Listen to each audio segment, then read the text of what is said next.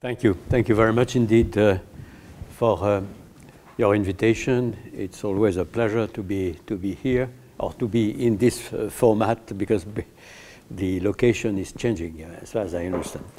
Um, let me, let me uh, say just a few words on um, what I have in mind to, to tell you.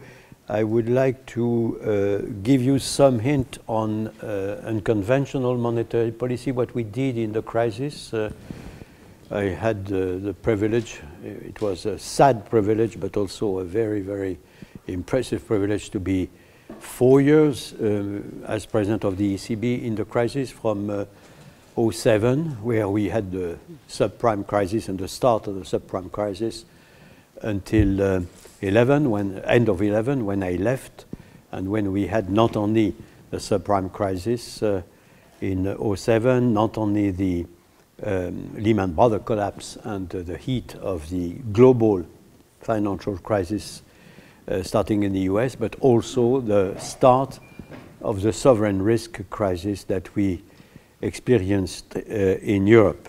So that, that makes a lot, of course, of uh, observation and, uh, and experience uh, to try to communicate. Um, as I said, I would like to uh, tell you what I understand from uh, my own angle of vision on unconventional monetary policy. Uh, I will elaborate a little bit on a concept which I am uh, very, very keen on, which is that in the crisis, I found a tendency, a very strong tendency for uh, major central banks in the advanced economy to be closer and closer. I call that conceptual convergence.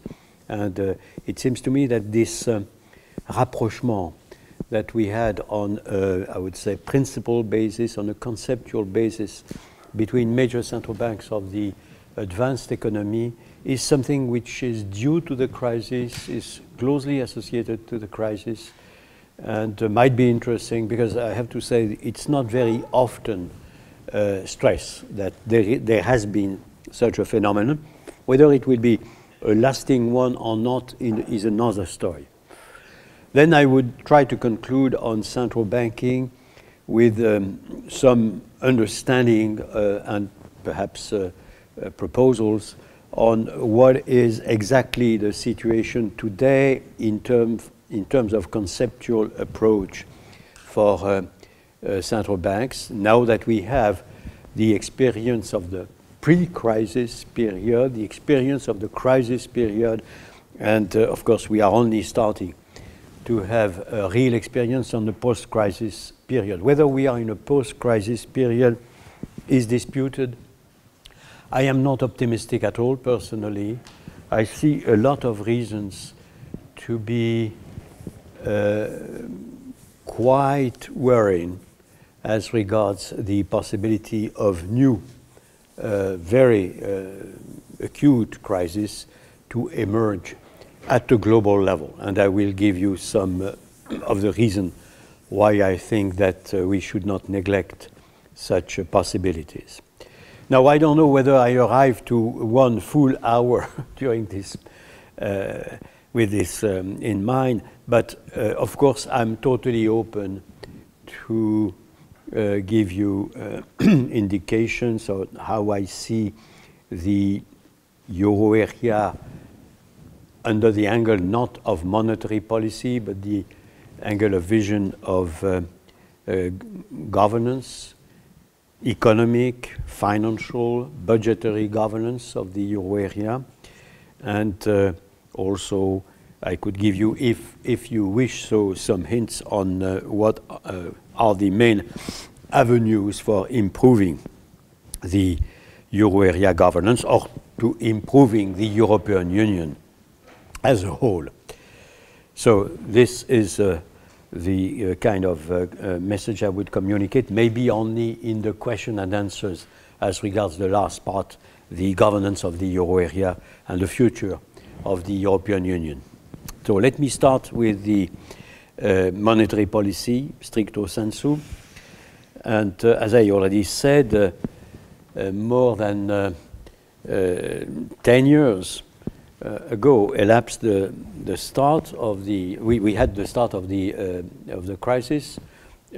For me and for the European central banks, it was a very, very um, extraordinary experience.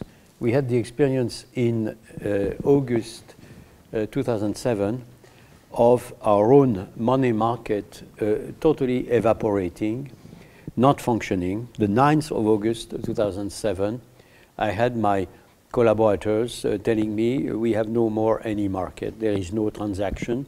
There is no price. The uh, possible potential interest rates are absolutely skyrocketing. And uh, uh the, uh, the, the, the spreads between the LIBOR or the Euribor, as far as we were concerned, and the overnight index swap was absolutely skyrocketing but so skyrocketing that we, we had no transaction. So we had uh, uh, to cope with this situation. I uh, decided that we could not let our market in such a desperate situation and we had to embark on some innovation. The innovation was that we decided to give uh, the central banks, the commercial banks of the euro area, uh, unlimited supply of liquidity. And uh, we uh, told them, you will have all the liquidity that you would ask for.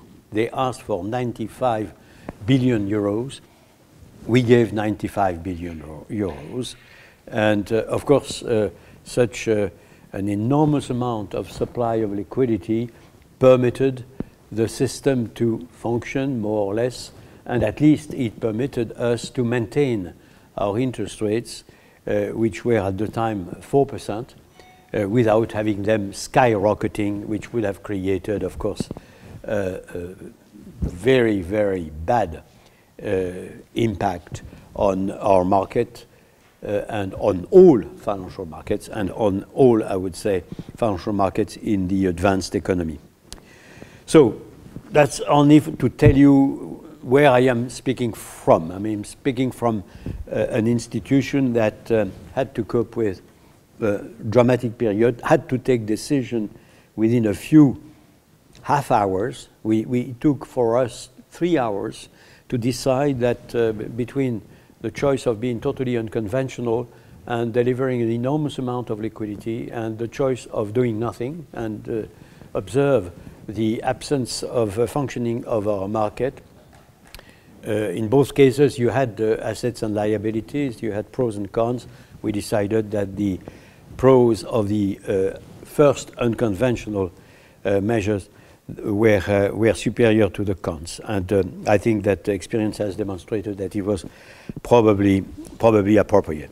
Of course, since then, we had a sequence of events.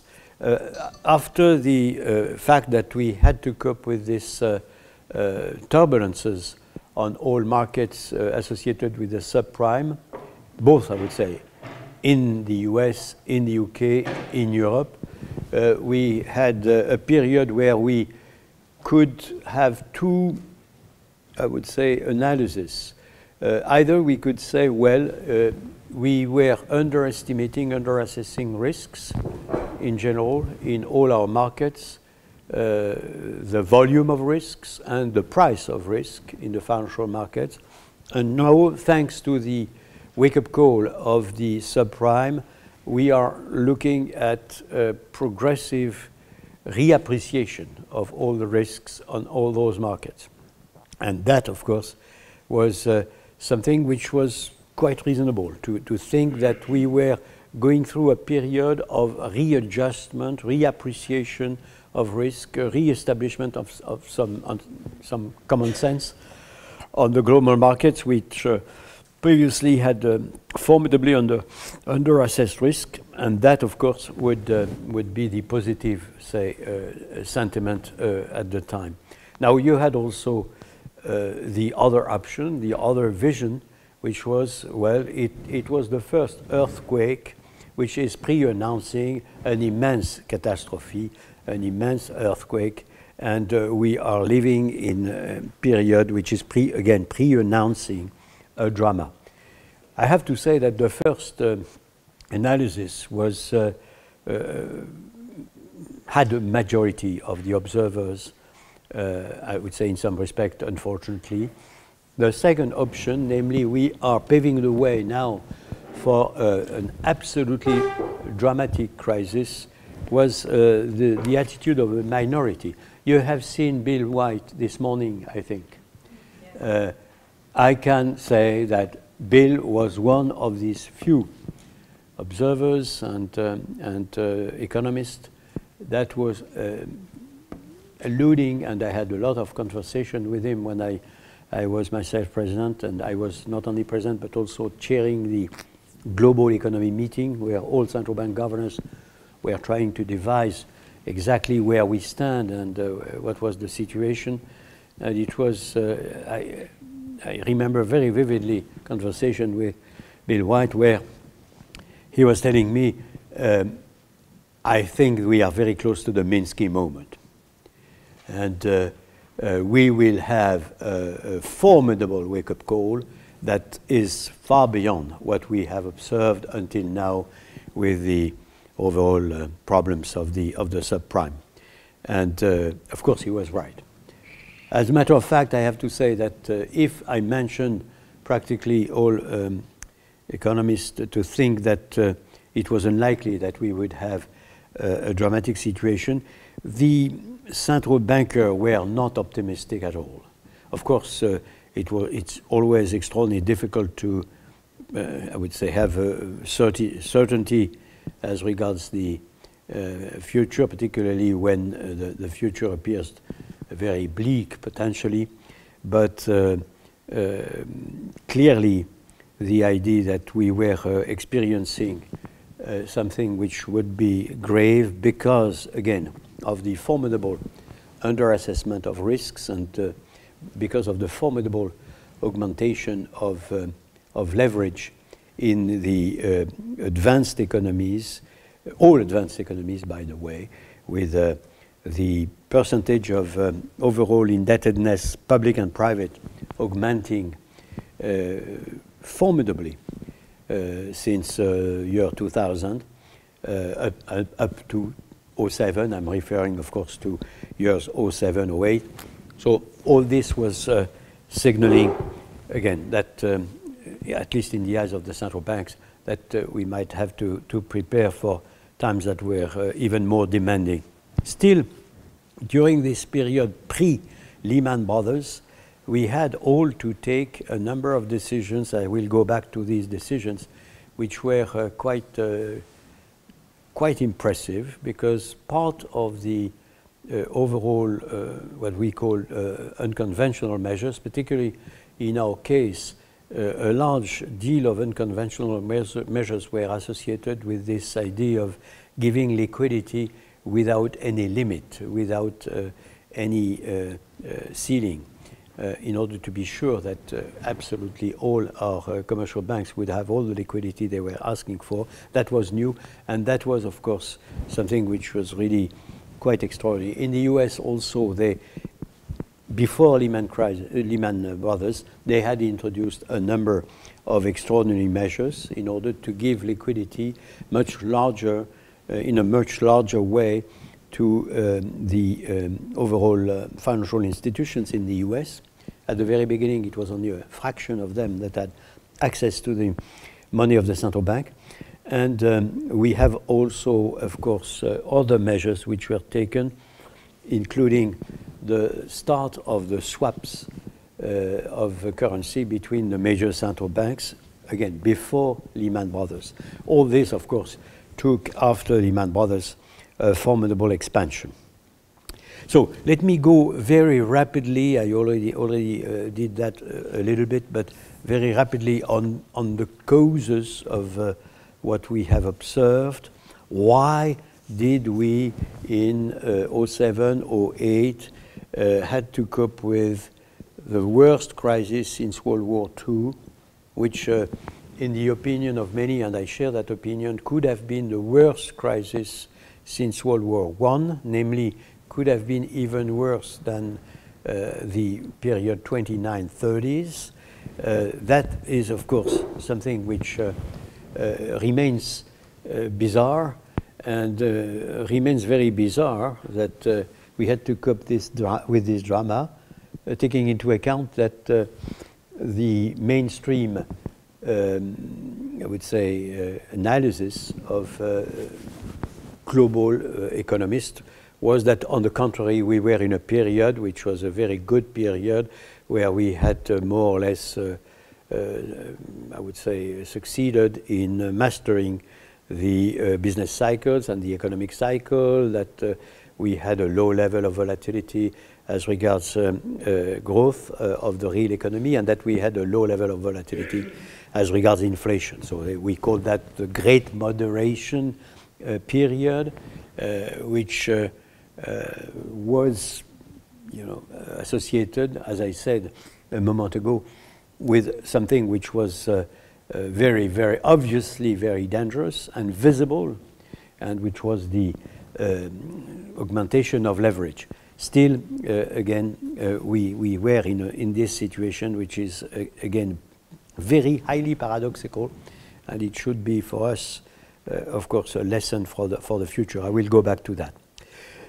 so, very rapidly, if I try to go through the major causes of the advanced economy crisis, I would say that uh, we had um, a number of causes that are probably associated with the uh, scientific and technological progress coupled with the globalization, the two being very, very closely intertwined. Uh, in the domain of the uh, uh, possibilities offered by technology.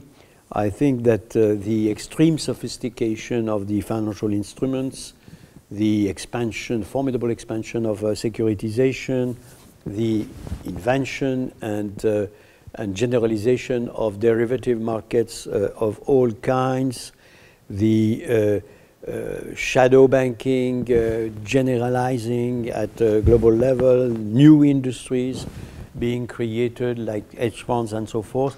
All this uh, was closely associated with the technology permitting all those sophistication and interconnection. And of course, it was uh, something like exploring a new, new avenues, exploring new continents. We had not explored those sophistication of markets and of uh, financial instruments before, so it was absolutely new, obviously.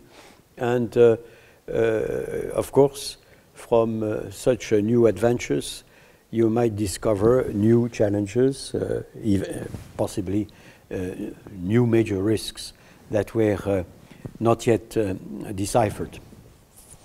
I mentioned already the interconnectedness. It's something which, of course, is even very, very, uh, uh, as I said, connected with the globalization. But the fact is that we had an extraordinary increase of uh, interconnectedness between all financial and non-financial institutions, markets, economies, at all levels. I mean, at national levels, continental levels, international levels. And, and this is, of course, something which uh, also um, if I take the analogy of, uh, of uh, physics, would be, you know, giving birth to uh, emerging property. You have a new, a totally new regime for global finance and global economy, and that, of course, has a lot of consequences of all kinds. Uh, I already mentioned um, a, a, third major cause, which was the sentiment of tranquility and confidence, which uh, appeared to be, with the benefit of the hindsight, absolutely dramatic. But the period going from mid 90, mid 80s, I would say, to mid 2000s was a period where, at least in the advanced economy, the idea again that we were living the best of the world possible was uh, very, very powerful. And associated with that, there was, and it would be a fourth possible cause for the uh, global crisis of the advanced economy, the uh, consensus of the international community that uh, markets were efficient, that uh, not only uh, markets were efficient, but uh, they were more or less uh, driving uh, the economies of the, of the advanced economies and the economies of the world also in the direction of uh, an overall equilibrium that was single and was permitting to have full confidence in the fact that if you let market economy function as uh, spontaneously as possible uh, to the extent that the perception that there could be multiple equilibria and there could be uh, possible uh, absence of uh,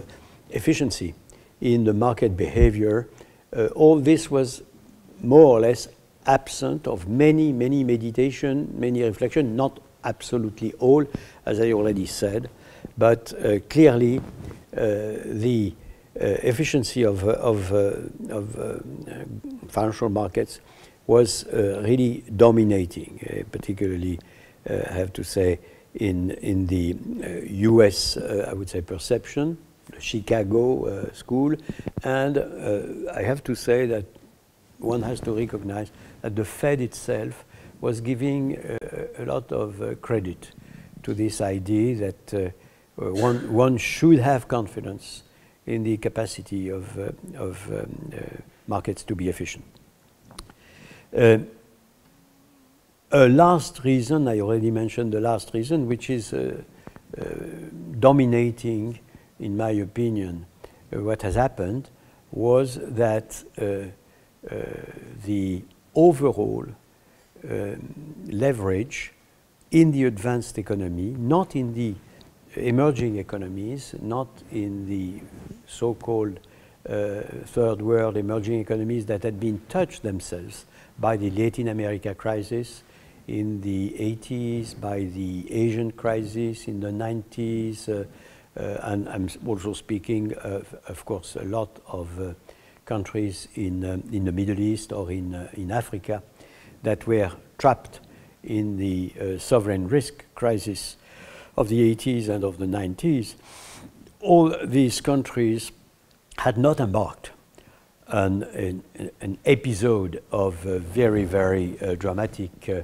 leveraging of their economy, uh, and um, uh, for good reasons, because they had experienced already the uh, difficulty that is associated with that. But in the advanced economy, clearly, there was no, I would say, understanding that uh, we might have big problems associated with the big, big jump that we had at the time uh, between um, the um, uh, both, I would say, in the public uh, sector and in the private sector.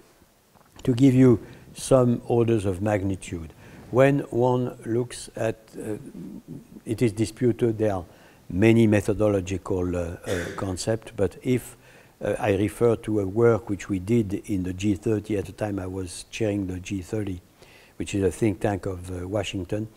When we looked at the overall uh, outstanding debt as a proportion of GDP at the beginning of uh, 2000, we were approximately, according to our methodology, at 250%. Overall, public and private debt, global, all countries uh, on the uh, overall GDP of the planet. When uh, we started the, the crisis in 07, 08, we had 25% more of the global GDP in the uh, overall uh, public and private debt. So we were at the level of approximately 270%, 75%. Uh, and 25% that had been accumulated were accumulated by the advanced economy in the proportion of 90%. 90% of the augmentation of uh, additional uh, indebtedness, public and private, was to be attributed to the advanced economy. So you see, it, it's uh, over seven years, seven, eight years, 25% of the GDP, uh, when we were already at the global level at a level which uh, was signaling that we were already uh, uh, leveraged, quite, quite substantially leveraged. so this was totally neglected for many reasons. Uh, all, all the reasons I have already mentioned, the fact that the uh, signal that we were receiving from the real economy were, as I said, the signal of the, uh, uh I would say, uh, very good behavior of both growth and uh, of the overall inflation, which was stable. So we, we had the feeling, which was wrong, that we could, if we had stable prices, it would probably mean that we, we were uh, in a world of underlying stable finance. We know now that it's not true. But again, uh, I think that we can forgive the fact that we missed a number of um, emerging property which were associated with technology, with globalization, with the new avenues that we were exploring, as I said. I think we can not be forgiven for having totally missed the uh, augmentation of, uh, of uh, outstanding debt, public and private, in the advanced economy. And I have to mention en passant that as regards the concept of monetary policy that was, that were, was totally dominating at the time, the idea that you would look at the uh, overall credit, that you would look at the augmentation of credit as an, an information that was important from the standpoint of a central bank was not accepted. Uh, the uh, ECB had a concept of monetary policy where we had two pillars. One pillar, which was uh, the pillar of economic analysis, which was shared more or less by all other central banks, and a pillar that we would call the monetary analysis, which was looking at the uh, overall monetary aggregates, at their component, but also at their counterparts. And, and that was disputed. We were considered very rearguard uh, to affirm that we were also looking at the uh, component and uh, counterparts of the monetary aggregates, including uh, private credit, including public credit. Uh, of course, with the benefit of the hindsight, we see that it was probably a mistake not to consider that credit should be also looked after uh, quite, quite carefully. Anyway, I would uh, like now to try to elaborate a little bit on the uh, experience of the unconventional monetary policy that, that we had. Uh, in the crisis. And uh, if you look at the uh, literature, you will see that there is very much a dominant interpretation for the unconventional monetary policy, which we can understand pretty well because uh, times has elapsed, and uh, the idea that the uh, sole justification of the quantitative measures that were taken, say QE to oversimplify, but there are a number of quantitative measures which were taken by the central banks, uh, all central banks of the advanced economy without any exception, uh, were uh, um, to pursue uh, monetary policy, uh, conventional monetary policy, say interest rates, when the interest rates were at zero, when you had attained the uh, zero level bound, and that you had to continue to be as accommodating as possible because it was what was required by the uh, real economy and the situation of the real economy for many reasons, including the fact that the uh, uh, neutral rate could be at zero level themselves or even negative. So all this uh, has created the sentiment that quantitative measures, unconventional quantitative measures, are justified only by the fact that you must continue to be as accommodating as possible, even when your interest rates are at a zero level. Uh, I think the, this is only one of the uh, reasons why we embarked on uh, unconventional measures. And uh, in the future, if we have again to uh, embark on some unconventional measures, uh, more, enfin, most often uh, on quantitative measures, but you will see also that it is a little bit more complicated than that.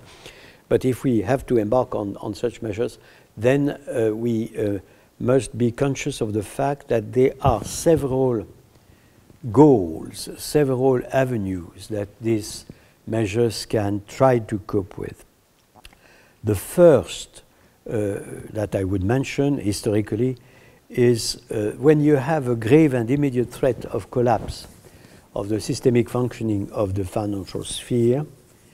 So you have you, you're put uh, you're immediately put into question as regards the functioning of the the financial sphere. Say that uh, you have the feeling that uh, there is a house of cards which is about to totally collapse, or, or, you have a market which is not functioning at all. Nothing nothing is observed the, uh, you are in a situation where you can be at a level of interest rates which is not zero.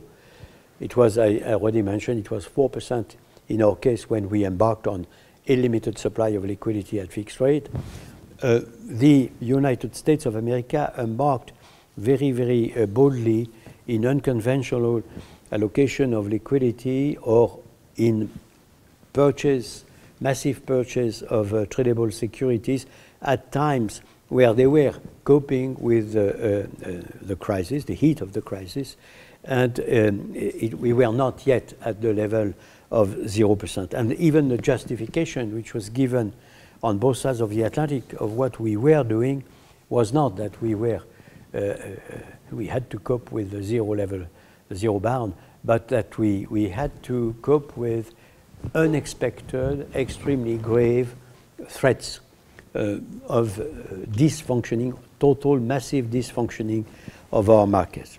So I don't want to elaborate too much on that. I could be very, very long on that, but uh, you, you have to remind yourself that this is something which is historically true. We, we started the very bold measure, the swift and bold measure, uh, at a moment where the threat was not that we were foreseeing a very, very grave depression or a very grave uh, recession ahead of us. It was simply that we could see the immediate and grave threat of collapse of the financial system, of the financial functioning of our market. A second dimension of unconventional measures, as far as I see it, is also not clearly closely associated with the necessity to pursue monetary policy at uh, the zero level bound, but uh, not uh, in between, if I may, between the total disruption of market and a partial dis dis dis disruption of market, so, uh, some kind of malfunctioning of market, when the private sector which was used uh, to, in the normal time, to make you know, market functioning in uh, all advanced economy, and so particularly in the US, where you have to get in mind also something which is very important. In the US, you have practically, and you had at the, before the crisis, 75% of the financing of the US economy, which is made through markets, so tradable securities, uh, public and private, uh, that are uh, that are negotiated uh, in the market, and only 25% are attributable to, to banks. So that makes an immense difference with us in Europe, where we have exactly the contrary. Uh, before the crisis, we had only 25% of the financing of our economies, uh, which we could be uh, associated with markets, and 75% which could be associated with banks, which also explains a lot of the difference between the decisions taken in the US and decisions taken in Europe.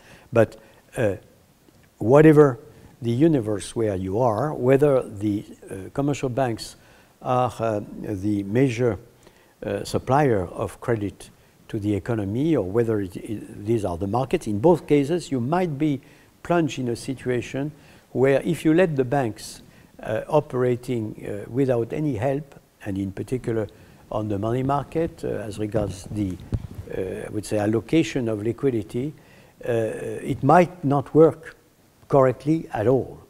And in Europe, for instance, today we, are, we have progressively got out of the acute episode of the crisis, uh, that's absolutely obvious. Still, this unlimited supply of liquidity at fixed rate is still the rule in Europe because the central bank, rightly so, I, I guess, thinks that it is still necessary to be sure that all financial institutions have access to liquidity and uh, that uh, uh, we cannot rely upon the functioning of the market between banks uh, to permit an appropriate allocation of liquidity. Uh, and uh, in the United States of America, after the acute episode of the crisis, as you have seen, we had a, a, very, very active presence of the central bank on the uh, markets by uh, purchasing uh, market QE1, 2, 3. QE1 was not called QE1 by the central bank itself, but by the market. But anyway, the, the, the, presence of the, of the central bank was very visible. But even after the um, uh, interest rates increased in, in, the US, you could see with a great caution in the attitude of the Central Bank of the United States of America in dealing with the portfolio of tradable securities they have in their balance sheet. So one can see that the idea that the, the, the, we could not necessarily let the market functioning in, uh, uh, I would say, uh, a way which would be as uh, uh, spontaneous as possible. And uh, you, you, remember there has been a, a long period when the uh, central bank, after having stopped the net purchase of treasuries and um, tradable securities, continued to be very keen on repurchasing the uh,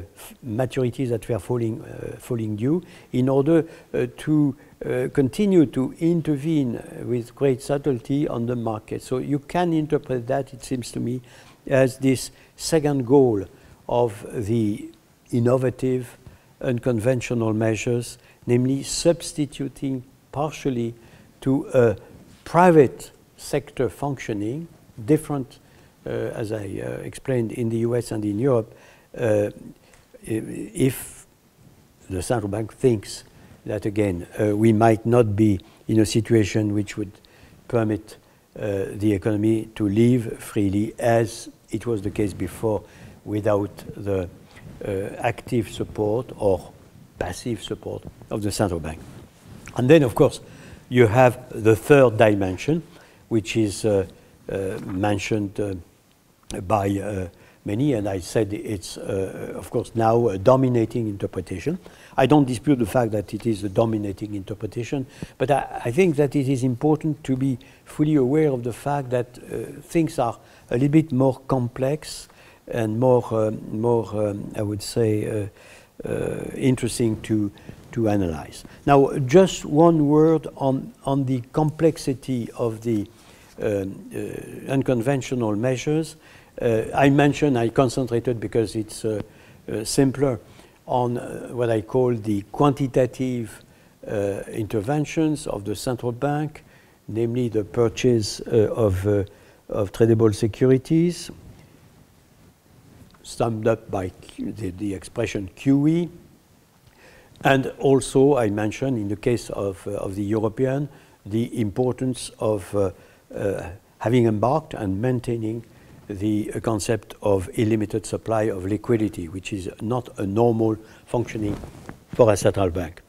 Uh, to give you an idea of the complexity of uh, these non-conventional measures, let me mention on this side of the Atlantic, namely in Europe, that uh, we have embarked on a specific European uh, uh, concept, which has been to target a number of peculiar tradable securities, namely historically first uh, the Irish, Greek, and Portuguese treasuries that we purchased in May 2010. I was president of the ECB.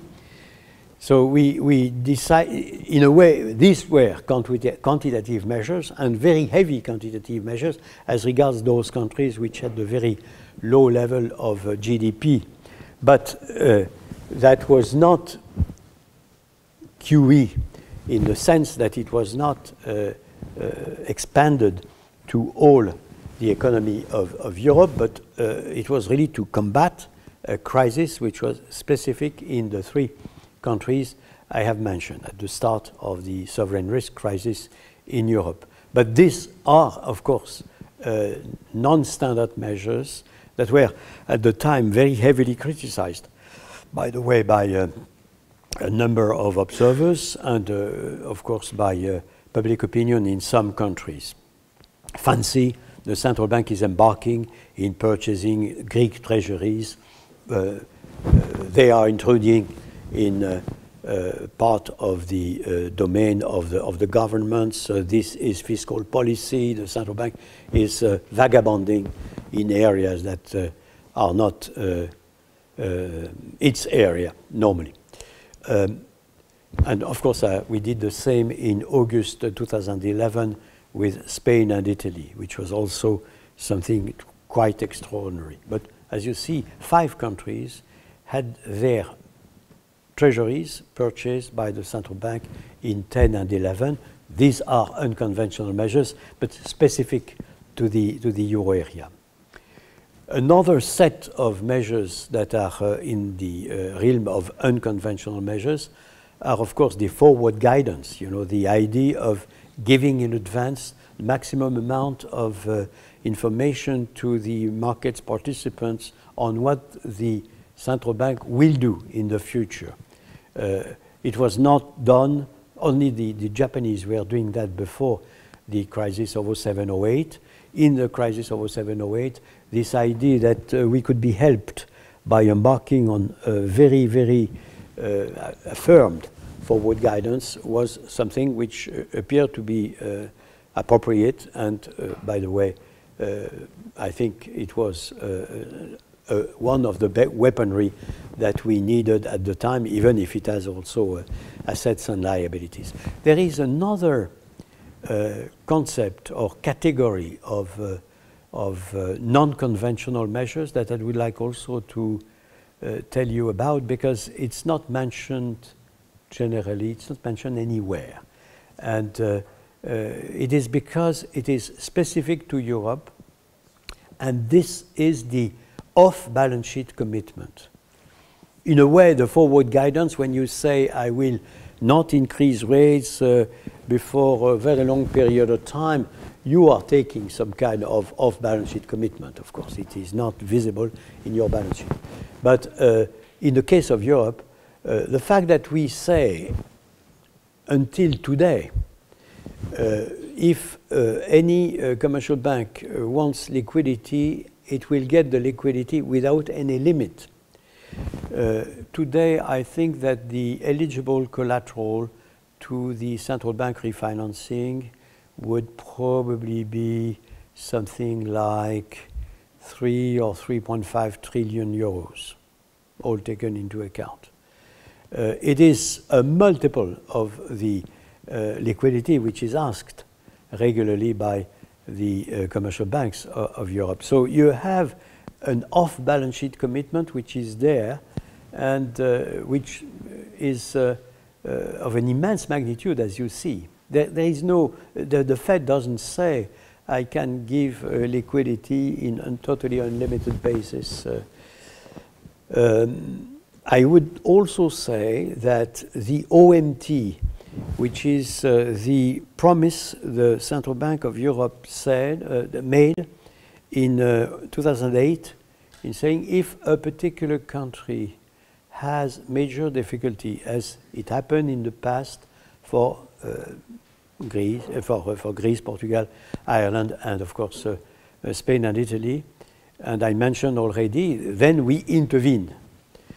But if it happens again, if there is something of that kind, then the central bank is able to mobilize itself and purchase those, uh, uh, I would say, tradable securities, namely treasuries, uh, provided there is a conditionality associated. And uh, that was the promise of OMT. Again, it, is an unconventional measure, a very important uh, uh, unconventional measure, which proved uh, quite effective at the time in terms of diminishing massively the spreads between the, the best signature in Europe and the worst signature in Europe. But it is also quite uh, impressive to see that it is totally, totally off balance sheet. And by the way, it was effective and there was absolutely no purchase of that kind.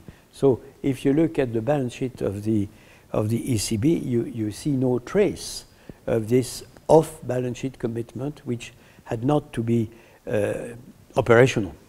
So I mentioned that uh, in order for you to see that the central banks in the crisis, in the worst financial crisis since World War II, uh, had uh, a very large, I would say, set of tools uh, that were uh, introduced, that were, I think, necessary, and I think there is a large consensus on that, even if each of these unconventional new tools can be, of course, uh, analyzed through the angle of the uh, drawbacks associated with it or the, of the possible uh, liabilities associated with it in the future. And uh, uh, you could say that uh, of practically all measures that have been taken, which will drive me to conclude in a short period of time because I see that time time is elapsing much more rapidly than I was expecting. And I see that you are nodding.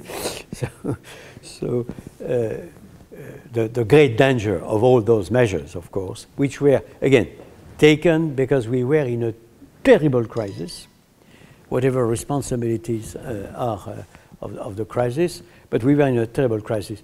And the danger is, of course, that the, the central bank, having been very active, very highly responsible, uh, might be considered by the other partners, and I'm speaking both of the public sector, governments, parliaments, and of the private sector, they might be considered, uh, I would say, substituting themselves by their boldness uh, to the other partners, governments, parliaments, and private sector.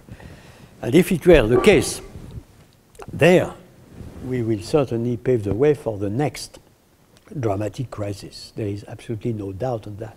And this is a, a very important danger. That's the reason why I think the central banks are very, very uh, uh, wise in their communication always to stress the point that they are not the only game in town, that uh, the other partners must step in. And it is particularly true in Europe, of course, where you have still uh, immense responsibilities of the governments and parliaments, the countries themselves, uh, if uh, we refer to the past, and, but also to the future, and also the European institutions, which have to be up to their responsibilities themselves. But it is not by chance that in the mind of the people, the central bank is really the anchor of Europe, the anchor of the euro area. Uh, this is not only because it has been uh, swift and, as I said, responsible in its reaction to the dramatic crisis, but it's also because the other one do not appear as being uh, themselves uh, as responsible as they should and as um, solid, solidly anchoring the uh, euro area and the European Union as they should. So now I, I have only a very short span of time namely five minutes, no, maybe a little more after all, because we didn't start exactly at, so, uh, yeah. I, I can, it's a little bit flexible. Okay, so that's, that's, you're very generous, very generous, I appreciate a lot. So I would, I would say a word on the conceptual convergence, because I had said in advance that I will tell you something on conceptual convergence extremely rapidly. And then I will tell you how I would, you know, conclude for, uh, for the, the, central bank policy today and uh, what are, uh, in my opinion, the, the, the, main points that uh, we have to be fully aware of and wh what are the dimensions which are, have to be disputed and are still open, at least in my mind. So, conceptual convergence. I, I already mentioned that uh, we could see in the crisis, due to the crisis, uh, many elements where uh, central banks uh, that were far away from one another in terms of principles, in terms of uh, conceptual understanding of what was monetary policy, uh, in terms of, uh, of uh, I would say, precise definition of their goals and so forth, I could see, again, in the crisis, uh, this rapprochement. So I will only list, and then we, we could, of course, have questions on that. One, one of the uh, important, of course, rapprochement uh, is the fact that nobody now says that we should, should not look at the credit dynamics, at the, what I call the counterparts, the credit counterparts of the monetary aggregates. Uh, we were paid dramatically to understand that it could be very, very important for central bank to have a better understanding of that. That doesn't mean that uh, uh, we have converged uh, on the concept of monetary policy. Uh, there are still a lot of central banks that are, uh, I would say, associated with pure monetary targeting, even if now, of course, the financial stability goal becomes part of the overall responsibility of the central bank. But uh, the the US is not associated with monetary, uh, with the inflation targeting, uh, but reserves the right to look at everything. And as you know, has two goals which are given to the three, uh, which are given by the Central Bank of the United States by the Congress. One is price stability, another one is low long-term interest rates, and the third is uh, uh, uh jobs and low unemployment. So that, that is given by the Central Bank of the United States by uh, the um, uh, Congress. That being said, the uh, Central Bank of the US said before, even said in the crisis more or less, and could say any time uh, that uh, price stability in the medium long run is a precondition for delivering on the other uh, goals that are given by law to the central bank. And uh, it, is, uh, uh, it is something which has been said very, very clearly by Alan Greenspan, by Ben Bernanke, and of course, one of the justification of giving a precise definition of uh, price stability, namely to mention the 2% as the goal for price stability, is part of this uh, theory that price stability is a precondition for meeting the other goals. So that, that is one. Another element of convergence is that uh, uh, there is more or less a consensus to say that the best place for locating banking surveillance or is the central bank or close to the central bank. It was not the case at all before the crisis the UK was had the leadership on the FSA, which was totally out of the central bank. Uh, in Europe, uh, in the euro area as well as in all the European Union, you had two schools. The schools of those who were saying the central bank must be very close or responsible to uh, banking surveillance, and uh, the other school was saying no, not at all, no contact between banking surveillance and central bank. Uh, and the, the US uh, was more or less uh, in between, the Fed having responsibility, but in a very complex system of surveillance. now we are in a universe where in the UK it is the central bank, in Europe, euro area, it is the central bank, and so the convergence has been absolutely colossal. And even in the US, nobody is saying the, the surveillance of uh, of big banks, big institutions should be out of the realm of, uh, of the Federal Reserve, even if there has been criticism on, on the Federal Reserve. So you see that this is an element of convergence which seems to me very important. Uh, the same uh, as regards the prevention of systemic risks. On both sides of the Atlantic, you have now new institutions where the central bank is playing quite a large part.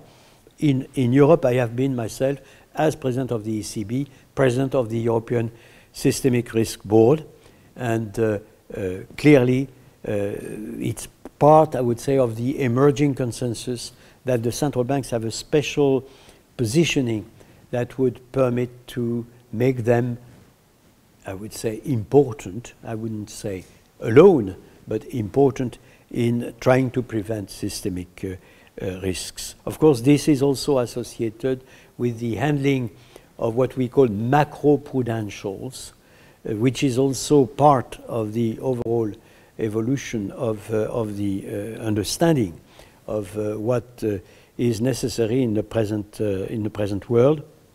And there is again a consensus, particularly on both sides of the Atlantic, to think, and, and also in the UK, to think that the central bank has responsibility in the handling of macroprudentials.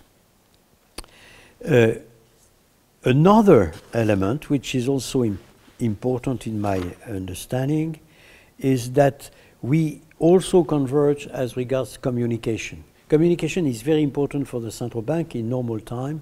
It's extremely important in crisis time because uh, informing uh, on, only because the democratic accountability makes that you have to inform uh, your fellow citizens on what you're doing, why you are doing this and that. Uh, and that is, of course, something which is extremely important for independent institution. Also, the fact that uh, uh, you are uh, communicating as soon as possible in real terms is important.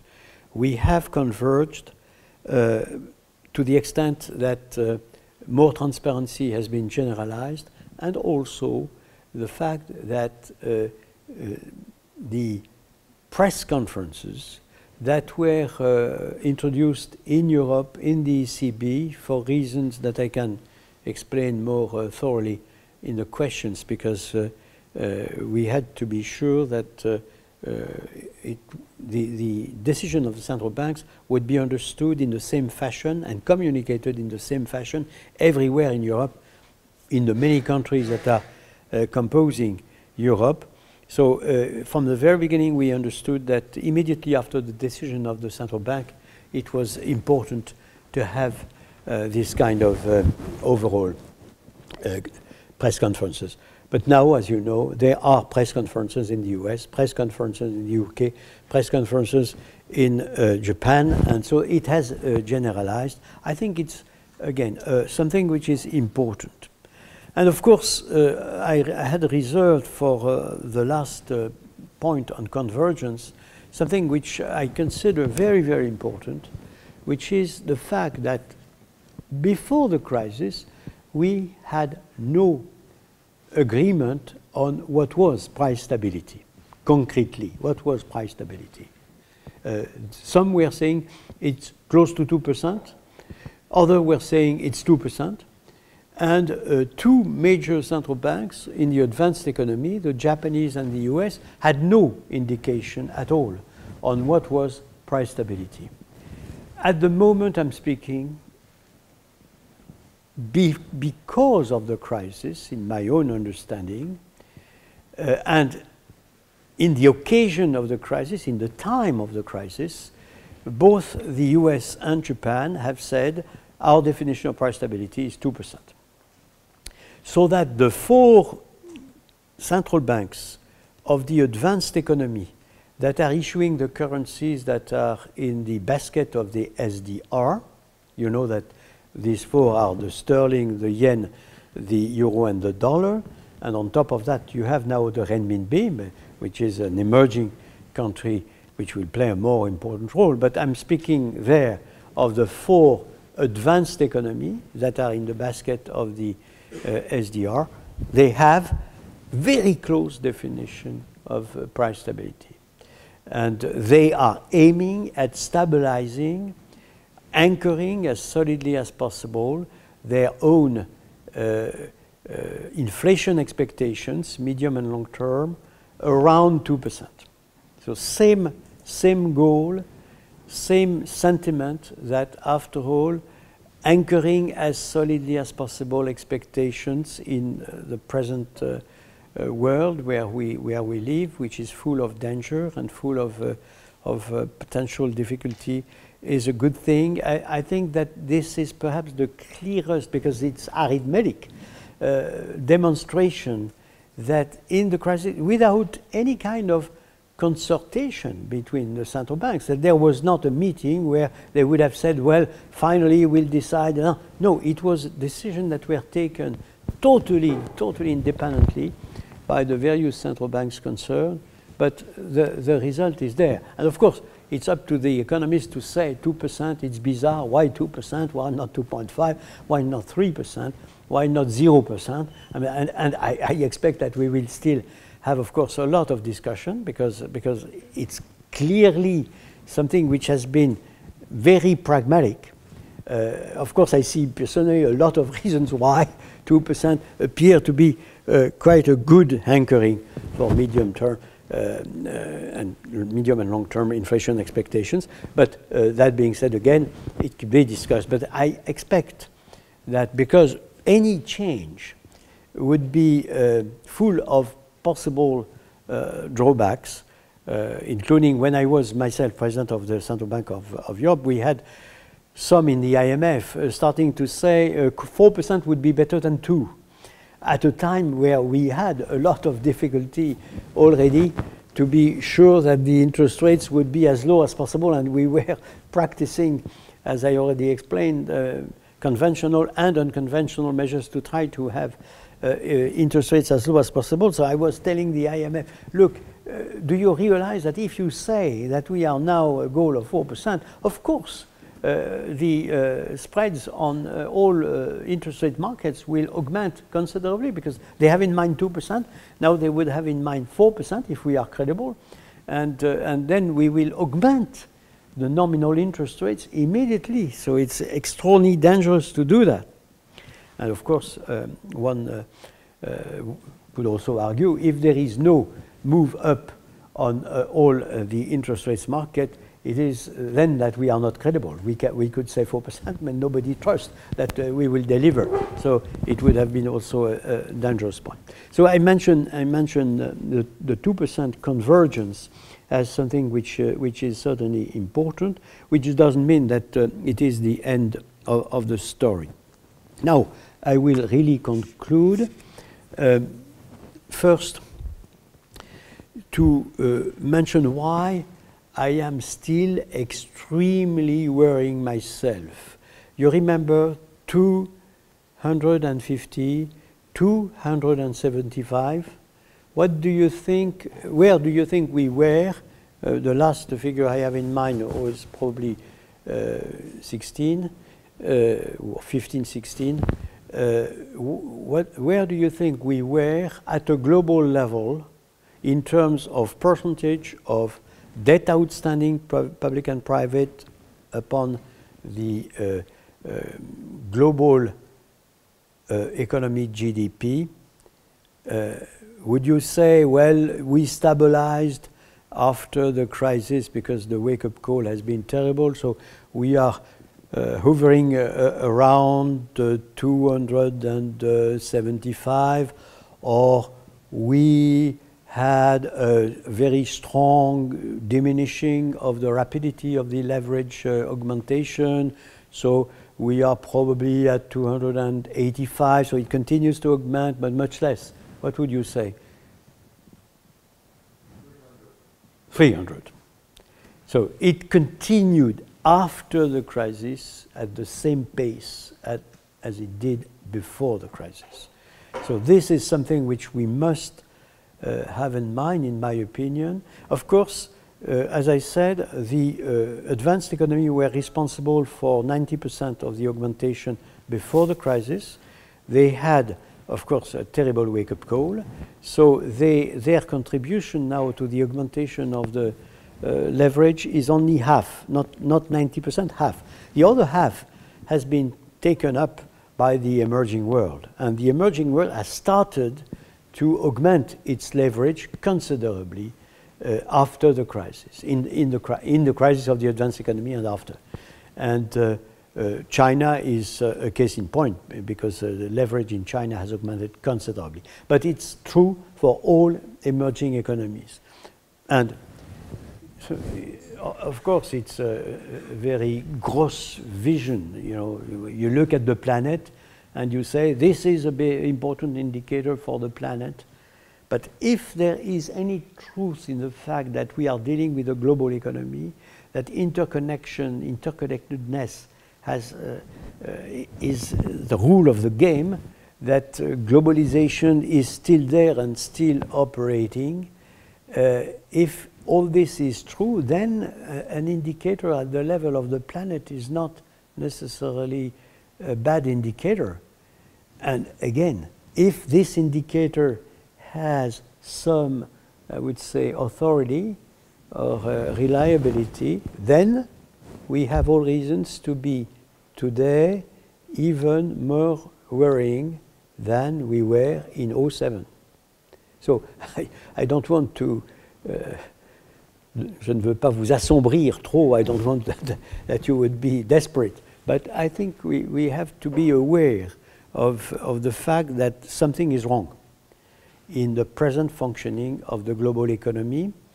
We probably have a bias, a pro debt, and against, uh, I would say, we, what is not debt to finance the economy in general, namely both uh, in many, many countries, taxation, which is a good way to finance uh, uh, the, the, the investment or the, the, deficits of the, of the public sector. and of course, as regards the private economy, we need much more equity. We, we, we cannot continue to pile up debt because piling up debt is driving you necessarily to crisis.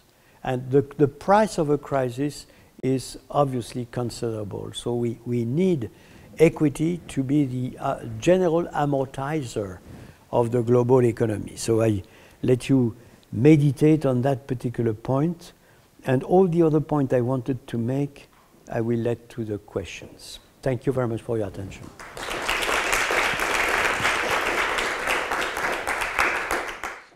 Thank you again, uh, Monsieur Trichet. Uh, we are Brenda, who is from Argentina and comes from option A, which is innovation, and I'm Benedict, I'm from Germany, and I'm in option B, which is more macroeconomics. Um, we, we're going to discuss, based on what you've just said, so give a short summary, then we're going to discuss based on that a possible alternative framework for monetary policy. That Brenda's going to do that. And then I will, as food for thought, give a little provocative uh, politically, political economy explanation on the rise of populism, which might necessitate the adoption of such a new framework for monetary policy. Thank you. Um, so making a brief recount of the very insightful presentation uh, that you have uh, made. Um, there has been, as a reply uh, from central banks of advanced market economies to the financial crisis, um, a conceptual convergence in some points. one of them is these unconventional monetary policies that at the beginning of the crisis, they were developed as credit easing and credit support, um, it is later on that they began to be used as quantitative easing, that is lowering the interest rate beyond the zero uh, bound. Uh, but usually it's this last form, uh, the interpretation that dominates. This has as some consequences that it reduces the flexibility of central banks because this high correlation between unconventional and conventional monetary policies uh, doesn't enable it to apply them in different directions. Um, it is also risky that uh, QE is viewed as normal monetary activity uh, since it has redistributive effects and it stimulates aggregate demand. And these are not um, aims that central banks should pursue uh, in the medium long run. Uh, because it might put into question its legitimacy and independence. Uh, and in a sense, um, due to this dominant interpretation of unconventional monetary policies, central banks are facing difficulties uh, in abandoning them. And as a response, there is this convergence to forward guidance policies. But there has also been a conceptual convergence regarding price stability around 2%, uh, and also about this new goal that is uh, financial stability. Um, and we would like to pose that it would be interesting including other, tar other targets alongside inflation targeting and financial stability. Uh, so from the mid-80s, uh, there has been this um, dominance in inflation targeting uh, because it is considered fundamental to achieve uh, higher growth rates of productivity and because uh, it is considered that is fundamental uh, to achieve financial and economic stability. It is later on, that as a consequence of the crisis, that it is questioned that price stability leads to financial stability, uh, and uh, this new goal is established, uh, which is an important recognition due to the inherent financial instability of economies and due to the interdependence between monetary, financial, and economic stability. These interdependencies have been addressed by central banks in pragmatic terms, but they have been uh, seen as something uh, more transitory rather than permanent. So why not also other targets? For example, Epstein has argued that no target fits in all circumstances and they have to be defined in each period. Uh, we would like to argue, for example, that uh, in our times, the distribution of income uh, could be an interesting uh, policy to be addressed by central banks. Um, this will be addressed later on by, uh, by Benedict, considering its relationship with uh, the rise of populism. Um, but going to this idea of uh, price stability to achieve economic growth. Why not pursuing um, full employment and growth targets alongside inflation and financial stability? Wouldn't it be more effective?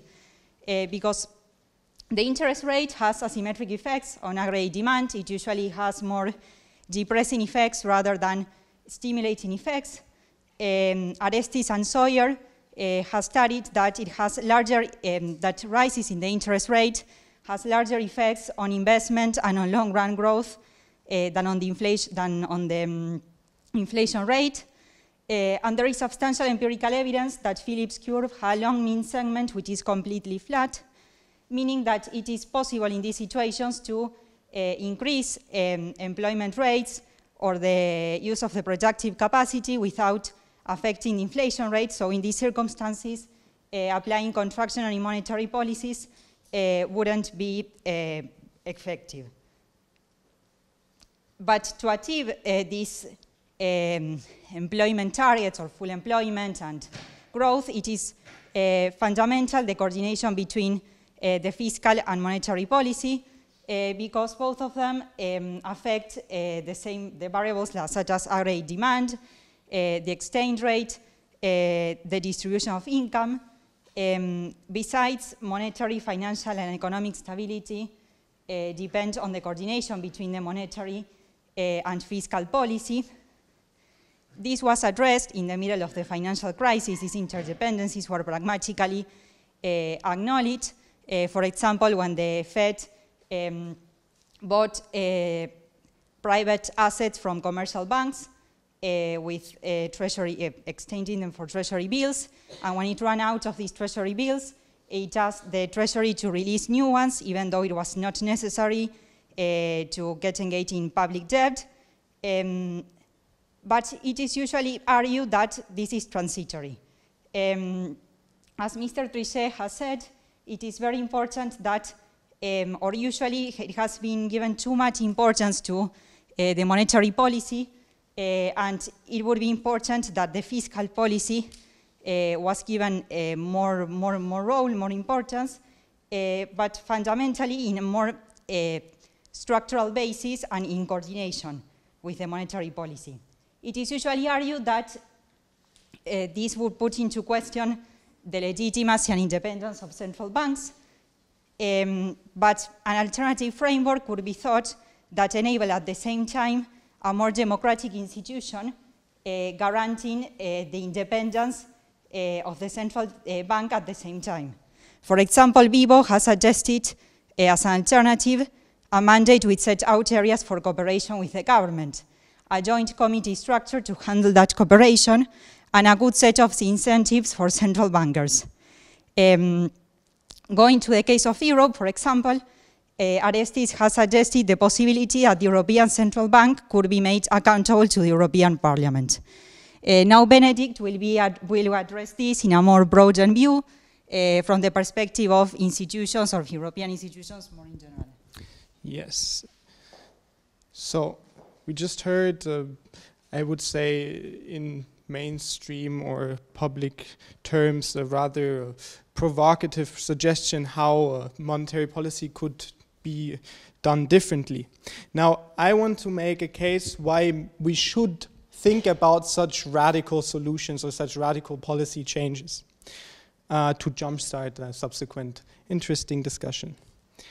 What I'm going to argue is that we are at the breaking point of history, that the international technocratic institutions like the central banks, OECD, etc., do notice that, do uh, adapt to that, and are learning, but they might have noticed that too little, uh, too late, and therefore are adapt adapting too little. Um, because of that, the too late and too little, I argued that mainstream politics, and I define mainstream politics as politics by the large established old parties, is stuck in what I will call the cynical trap. And this cynical trap causes populism. Another cause for that populism is inequality. How that all ties together, I will now try to outline. So, why are we at the break point of history? I have two arguments for that. Number one, we are at the end of a long wave. There is most of he, us here have heard that already. Multiple scholars that argue that the, the capitalist economy comes in long waves uh, and that each end of a long wave we find ourselves in a new economic reality and therefore new institutions need to emerge to adapt to that new reality and if they don't we will be stuck in limbo uh, among amongst uh, the authors that have argued that is, I think, most importantly, uh, Perez, who argues that with innovation, the, in, in, the intersection with innovation and uh, finance, and then Palley, who would argue that over a Minsky supercycle, so uh, gradually increase of these financial cycles that Minsky argued.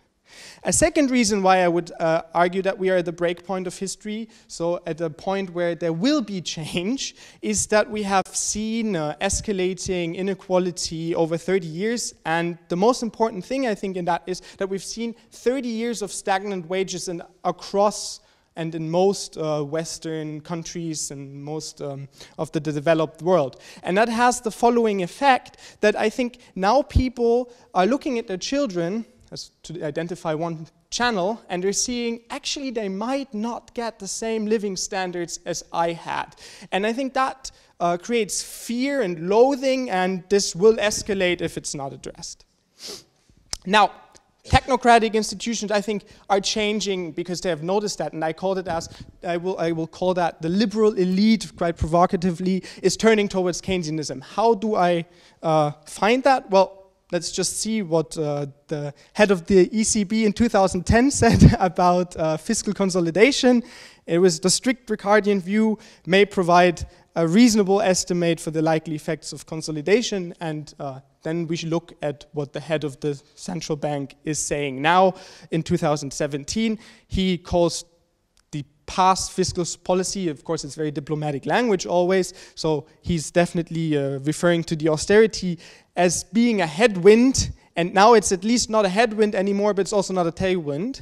And there's countless other examples. Uh, the IMF is re releasing reports that are calling, called Tackling Inequality. Uh, the OECD and also Draghi in the ECB in 2017 are talking about the wageless recovery in which they argue at least partially that these uh, non-increasing wages are due to bargaining power.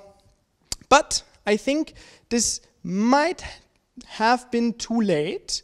Um, and the reason for that is, why is it too late? Uh, politics is in a trap now. And two reasons for this trap of cynicism. They need to, if you're a politician and not uh, a technocrat, you care about being voted into office. And it's very hard to do a U turn. So, a Angela Merkel needs to do everything to kind of stick with their initial narrative of 2009 to 2011. Um, and that was the pigs, provocatively again, have to do their homework. Uh, that was, we're going to write fiscal consolidation into our constitutions and everything will be fine. And however, we see that this is constantly being broken. So there is between what Angela Merkel says, because she needs to stick to her narrative, and what's actually happening, there is a huge gap. So the Maastricht criteria are not being adhered to, which is a good thing, but still there's a gap. Uh, the fiscal contradiction is slowly being rolled back. There's secret debt write-offs that are not being uh, openly communicated. And I would argue the central bank is always presented as this independent institution, but it's probably not that independent anymore if it sits in the troika and negotiates uh, with governments that are in the programs their budgets. So I, I guess people see that and they feel that there's something wrong. And the second thing is, these mainstream parties, and I think that's a, a, major reason also, are constantly proclaiming that everything is fine, when probably for a lot uh, of people, for a large part of the population, nothing is fine. Uh, they haven't seen their wages increasing, uh, rents are going up, uh, unemployment in a lot of countries doesn't go down, and if it goes down, it's even Draghi does uh, say that now, it's with not very high quality jobs. Now, that gives populism, populists, the opportunity to respond to that vacuum. I call it the vacuum of uh, cynicism. So they can point at the gap between what politicians' narrative is and what they're doing, and they can propose two things. They can either say, we're actually going to stick to the European rules, and we're not like Merkel giving money secretly to the South. That's, I think, what the AfD does, and was also in, in Austria quite successful with uh, their right wing populists and uh, also Kurz. Or, and then it comes more from the left, they just say, oh, we are actually going to change everything and we're going to radically transform the EU or abolish the EU. And I think the second, this acknowledging that nothing is fine, might be the reason why a clown who didn't want to win won the US American presidency against a very established politician, how he just toured around the country saying nothing is fine, everything is pretty bad, while uh, Hillary Clinton constantly proclaimed everything's great, we're doing fine, and I guess people just uh, didn't feel comfortable with that anymore. So as a general uh, reflection that we would like to pose uh, is that there is a rise in populism uh, in which if we want uh, in a way to counteract it, it's very important the coordination between technocratic institutions and politics, pursuing uh, full employment and growth, and especially regarding this link between the rise of inequality and inequalities and um, populism, uh, that the distribution of income becomes uh, an, an, issue in itself and uh, a policy that the European Central Bank takes really into account. Well, thank you very much. Yeah. Thank you for listening. Um,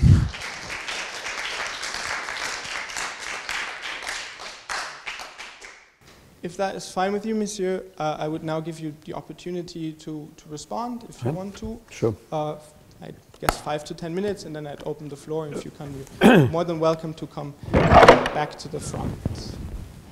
Do you do you have uh, a copy of your uh, your slides? No, it's a. Uh, I, I will be. I can I could look at it. Uh, you can go yeah. through it, of course. Uh, just use these arrows of left and right. Okay. And just be careful that the black cable doesn't unplug. The power cable is not. Okay, fine. So I will concentrate on, on, on a, a few, few remarks. For instance, I, uh, I would say that uh, the uh, synthesis that, that you made were, was very interesting, obviously.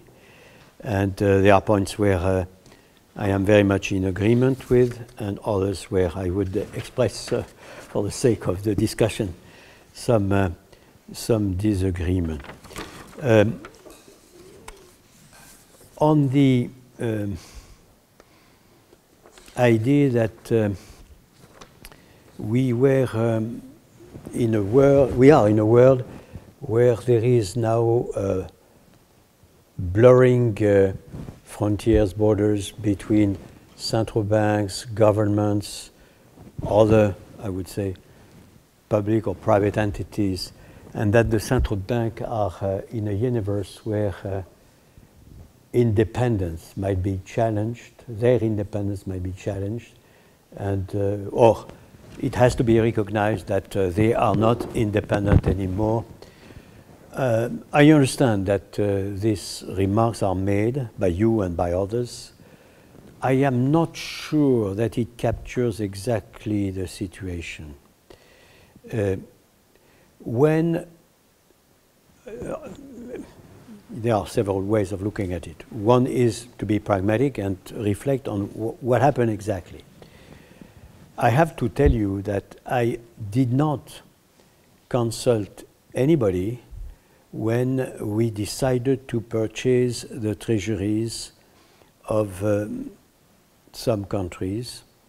Uh, and it, we had the feeling, and it was the case, that we were on the basis of our own mandate, our own independence, even if it was considered by some public opinion, including in Germany, as something which was profoundly abnormal. All editorial I had the next day after having purchased the Greek, Irish, and the Portuguese treasuries were negative, all without any exception.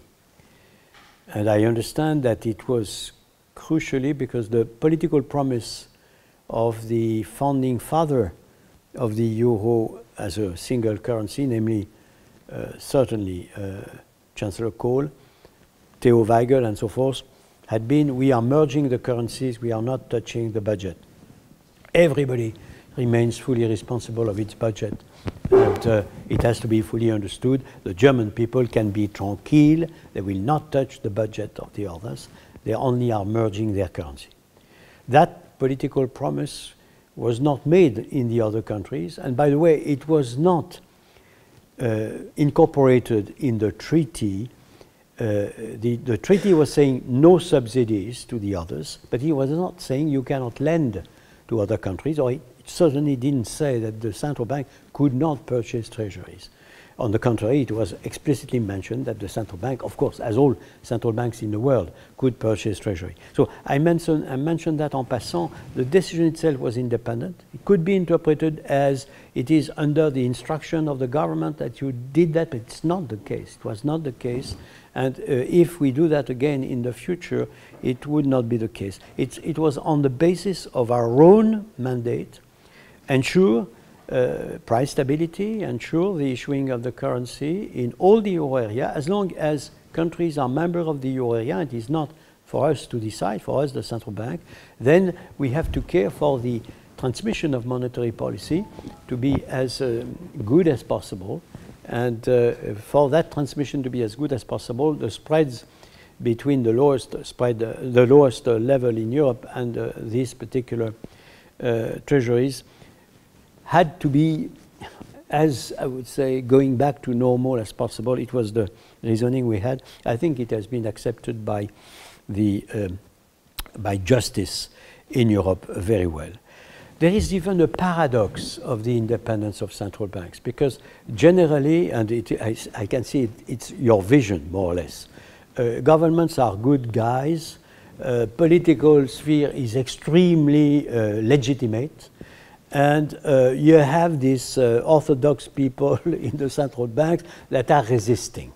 So if we give too, more, too, too much independence to these uh, technocrats uh, guys in the central banks, uh, we are not uh, going in the right direction. That, that's one view. I have to say it's not what I experience what I experience is a number of decisions that we took ourselves that the Fed took in the US would have not been taken by the political sphere. In the crisis, clearly, the, the Congress in the US was not on board for uh, starting immediately the TARP program, for instance. You remember that. And the criticism on the central bank that the central bank had been much too kind, much too lenient, much too, uh, I would say, uh, uh, kindly mobilized to avoid the drama is something which was a very, very strong criticism. In Europe, as I told you, all editorial, not only in Germany, probably in the Netherlands, has to be checked, uh, probably also a large part in Austria, and in large part of Europe, were very negative on the decision we took. So independence can play in the reverse. Because the central bank is very close to the situation, because it is on the front line, because it sees when uh, we are threatened of total destabilization, we happen with our independence to take from time to time decisions that would be impossible politically. At least as long as the, the general people uh, do not, does not understand that the, world is collapsing. When they understand that the world is totally collapsing, then it's too late. It might be too late. Uh, you, you could have run everywhere and uh, the people must, must be, might be totally panicked. So I draw your attention to that. Of course, it's, it's a valuable argument in times of crisis. And you will tell me, okay, put aside, let's put aside time of crisis. We are in normal time. One of your implicit uh, understanding of the situation, again, even in normal time, is that we say, the Kanzlerin, Germany, maybe central banks, uh, maybe myself, we are too much orthodox and not sufficiently understanding. Just cut in no? for a second, because I, I actually would make a little bit of the opposite of the argument. I would say the technocratic institutions were quicker in learning than politics and are better in learning in politics, and they were independence defined as they shouldn't finance governments, for example, but they did it secretly anyways. Secretly? Not, not secretly, sorry, that was the wrong word, but um, I mean, it was a lot of bending to, to achieve it. It was in the secondary market, etc., etc. And, and just from a, for example, German public opinion perspective, they felt it was something fishy.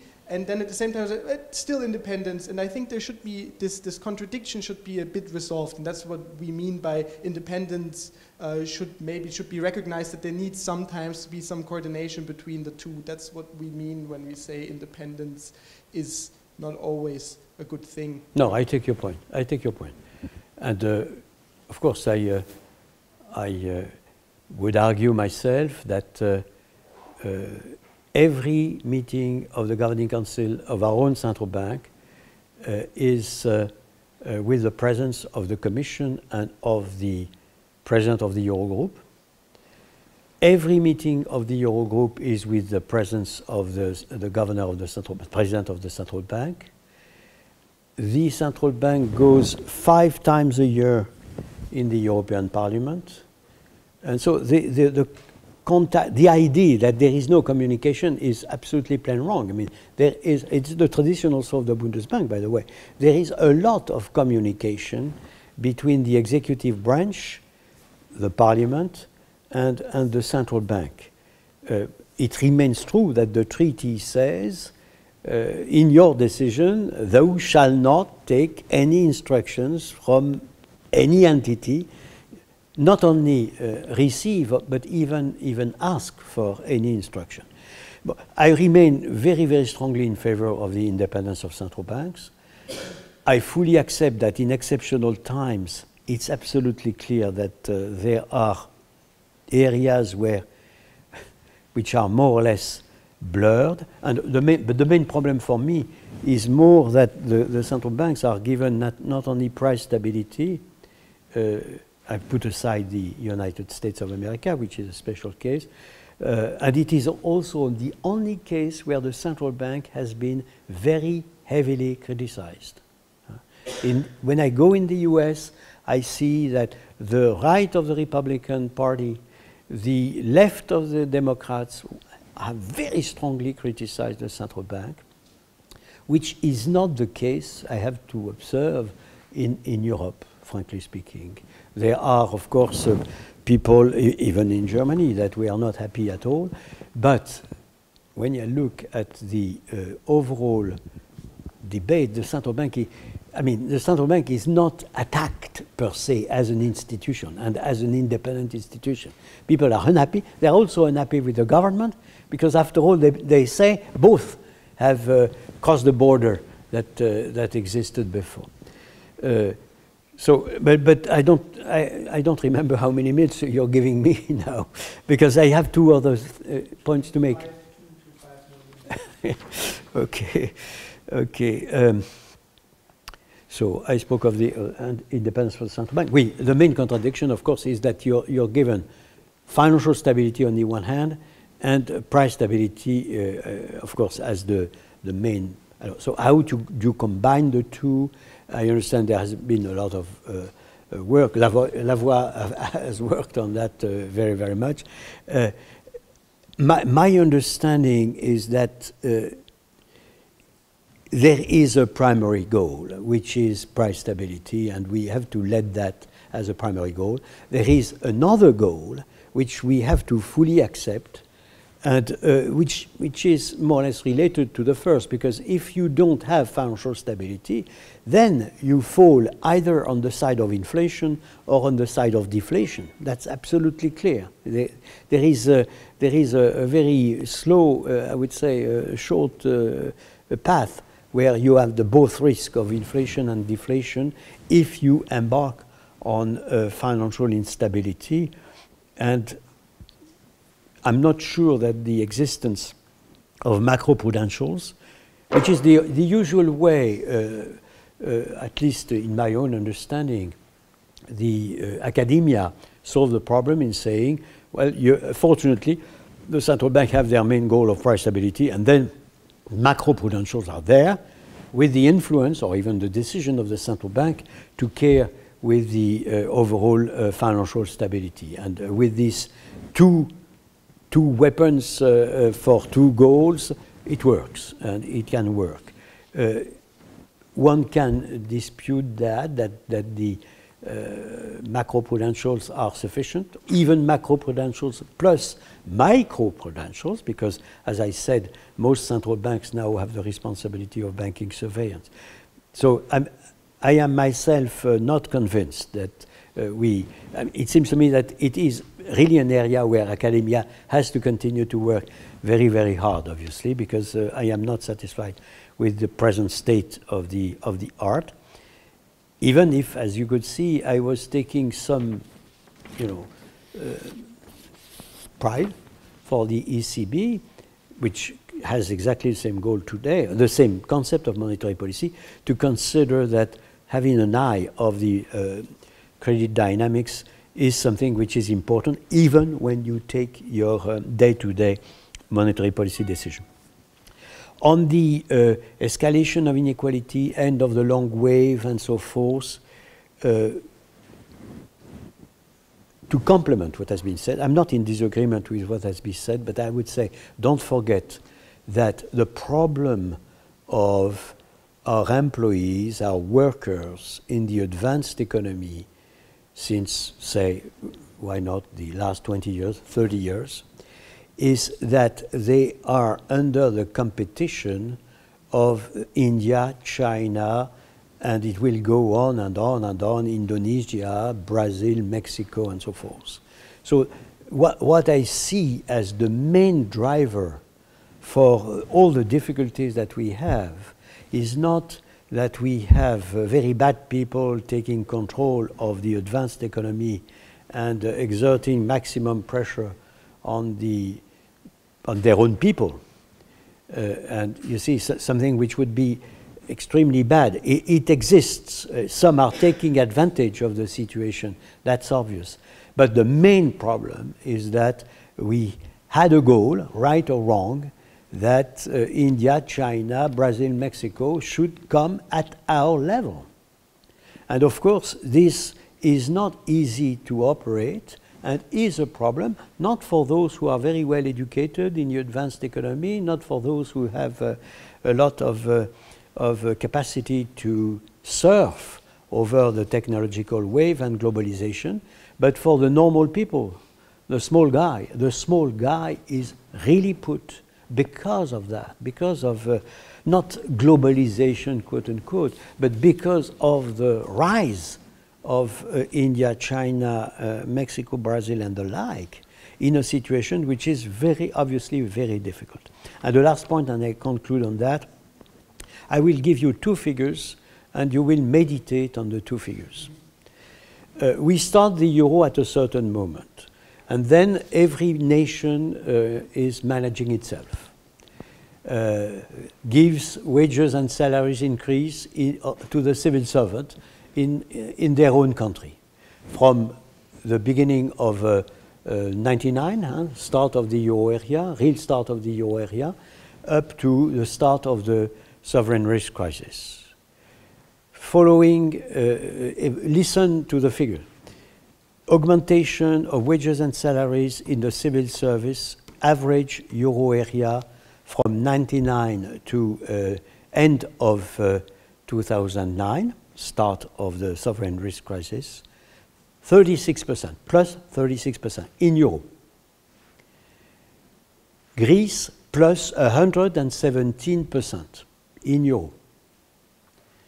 Ireland 110, Spain 70, average of the euro area 36. Germany 20, 20% augmentation from the start of the euro up to the start of the euro crisis. Who's rich? Who's poor?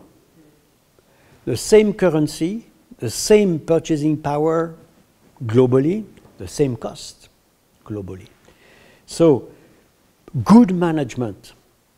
If you want to get full employment, as long as you don't have full employment, be able to understand that there is an arbitrage between what you give your people today and employment.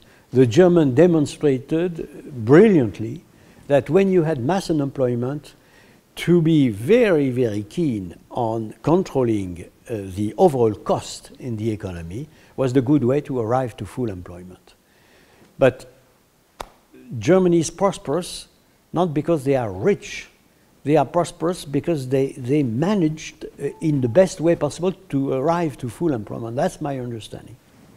And so we have to be very careful when we oversimplify situation in, in uh, saying, uh, I'm, not, I'm, French, I'm not German. they are the bad, the bad German, and they are always lecturing and lecturing and lecturing, and they are too orthodox. And the very good uh, Greek to, to oversimplify. I mean, both uh, were in their culture, were in their social partner uh, concept, uh, but one has to take also in account the realities. It's not easy for the Greeks uh, to uh, avoid themselves to augment wages and salary by 117 percent when it is possible, when it is financed by the rest of the world, when everybody uh, agrees to finance. You remember they, they ended their own trip at minus 15% of the GDP of current account deficit and minus 15% of the GDP of budget deficit. So uh, it was a situation which was absolutely clearly not sustainable at all. And even the wealthiest country of the world would not say, okay, co continue like that, I will give you 15% of the GDP every year. That was not possible. A correction was necessary. So I, I say that only to, to counterbalance uh, some of what you said. And as I said, I was very much in agreement with many of what you said. Thank you so much. I'm sure there's a big demand now for comments, and I will take three to four per round if that's okay with you, and then you can collect. Yeah, yeah.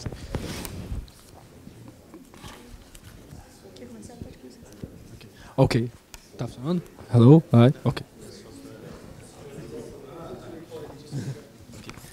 Um, uh, my question is, uh, is the same way like this uh, about the independence, in the, the, about the fiscal policy and uh, monetary policy and the yeah. things, and this independence. Um, first things, okay, you are discussing about the independence of of uh, central bank and government. But um, in your text and your uh, speech before, you talk about some uh, institutional reform, reform and uh, labor reform uh, and fiscal reform to to central bank um, acts. So now you are in a different way to the now the the government is dependent of the central bank. Now it's the opposite. So we have this, this situation. Before uh, the crisis, the, the debate was uh, uh, central bank uh, needs to be uh, independence of government or not. Now it's the opposite. The government is independence of uh, central bank or not. And this is my question. And the second question in this way, in this same approach, is to understand, um, okay, um, we have, maybe it's important we are talking about this uh, monetary policy and fiscal policy uh, in different ways. But um, if you have a restrictive uh, policy, monetary and fiscal expansion, uh, you have a, a, problem, of course, because of have a problem about debt and this this approach. So we have a, a problem about this and how manage it. First of all, what you said is exactly what uh, Wolfgang Schäuble said at the time. He said, uh, I, I, fully respect the independence of the central bank, but uh, I have to make the point, government also are independent of the central bank uh, themselves. And it's abs absolutely, it uh, goes without saying. You know, uh, the, but nevertheless, it, it is certainly the responsibility of the central bank to say from time to time, we are not the only game in town. We, we do all what we can, and it seems to me that they can prove, the central banks, that they did all what they could in very difficult circumstances, including, as we already said, in taking decisions that would not have been taken at the same moment by the governments because they would have considered too bold. So that, that's a proof of responsibility, if I may. But it's absolutely clear that you cannot tell the, the central bank, now take the situation, the structural uh, environment where you are, the uh, overall, uh, I would say, functioning of all markets in your economy, the overall uh, level of uh, uh, public spendings and investment in, in R&D and so forth, as it is, we won't change anything, and now up to you, we want full employment. Well, that, that, that, that is ridiculous, of course. Uh, and uh, on, only to give you one example, if a country augments the wages and salaries in the civil service by 117% when another one augments it by 20%, uh, you cannot expect that one is competitive uh, and you have uh, to expect that the other would be, would be very competitive. Maybe it is overdoing the things. Uh, maybe uh, it's not an optimal at all uh, in both cases, but, but you, you might have enormous differences that are totally out, of course, of the responsibility of the central bank. It's particularly the case in Europe where you have various countries with various culture and various social partners, uh, uh, I would say, chemistry. Uh, but it is also true uh, in a centralized country. It's also true. Uh, I mean, you, you have all the decisions that are taken by these, the social partners that are decisive, and the central bank uh, is, uh, has only a meager influence in this domain, and certainly not the monetary policy per se. And then you have, of course, all the structural, I would say, framework of, the, of, the, of that economy. You have you have the, the, decision to invest more or less uh, and to consume more or less, uh, etc. So uh, I think that uh, it is the duty of the central bank to tell the other partners all what it sees and it understands uh, without, of course, substituting to them in any respect. Uh, and that, that is something which I trust is is legitimate. And the governments are fully, uh, of course, independent by, by, definition. Not only the governments, but, but the, the democracy, the political democracy, the, the, parliament. After all, it is the decision of the parliament as a last resort. To give you an idea of where I, I, I am myself in terms of democratic accountability of the governance of the euro area, uh, I, I was saddened to see that uh, when there was a potential disagreement between one particular country and the recommendation of the European institution, for instance, uh, the Council, the, the Commission and the Council, or the Eurogroup, are saying, country X, you should do this and that. And country X says, no, I don't want austerity or I don't want this or that. Then um, there was no way of solving the problem. The only way of solving the problem was to have successive uh, European Council where you would uh, have a happening and they, the rest of the world would expect either they are, have no agreement or they have an agreement and uh, it's always dramatic. My own, uh, I would say, uh, recommendation would be that we would have a change of the treaty in order for the European Parliament in the format of the euro area to have the last word. They would say, well, finally, country X, Greece, is right, and they should not do that. Uh, and we, the Parliament, decide that they should not do that. Or they are wrong and they should do that. Uh, so that you would have a process that would be unchallengeable because it would be democratic. The representative of the people would decide, and then uh, nobody would uh, be able to challenge that, at least democratically. Uh, I don't want to Yeah. repeat on you, but I think yeah?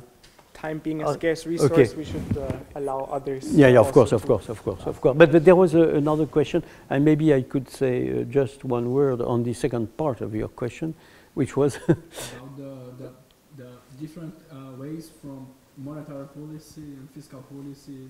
yeah, yeah, the policy mix. The, the policy mix. Uh, In my opinion, from the standpoint of the central bank, the uh, decisions that are taken by the, the parliament, after all, we are speaking of the budget, parliament, uh, are uh, imposing, imposed to the central bank. So the central bank taking uh, its, its own mandate has to uh, deliver the uh, element of the policy mix that corresponds to its own uh, goal and mandate. And of course, again, as I said, it, it could say, we recommend you to be more, I would say, uh, orthodox, say, quote unquote, or wise. I would prefer wise to orthodox uh, in your own handling of your budget. I could say that in France, and it's not very difficult. France has a very bad handling of its uh, budget, uh, uh, policy, fiscal policy, very, very bad, obviously. And uh, uh, it would be normal for the central bank, which the central bank does, to say uh, you should correct that. But the decisions that are taken are totally imposing themselves, of course, to the central bank, which has to deliver financial stabi- price stability and financial stability, taking into account the environment in which uh, it is placed which of course is particularly complicated for the ECB because the ECB has 19 sovereign countries in front of her and tomorrow perhaps 20 uh, uh, quite quite rapidly Okay, if, that, if it's okay for you, I would collect. two two or three yeah yeah So it's Lisa, Ryan,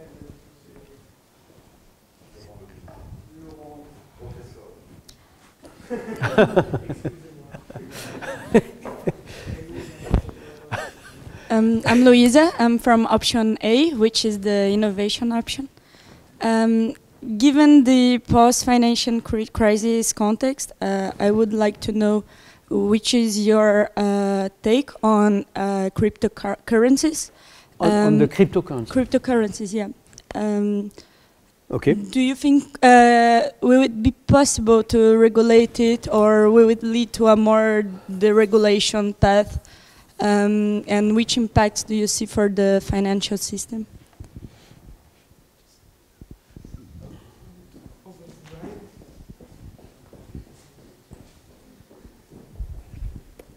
Thank you very much for your presentation. My name is Ryan. I'm from option B from Ireland.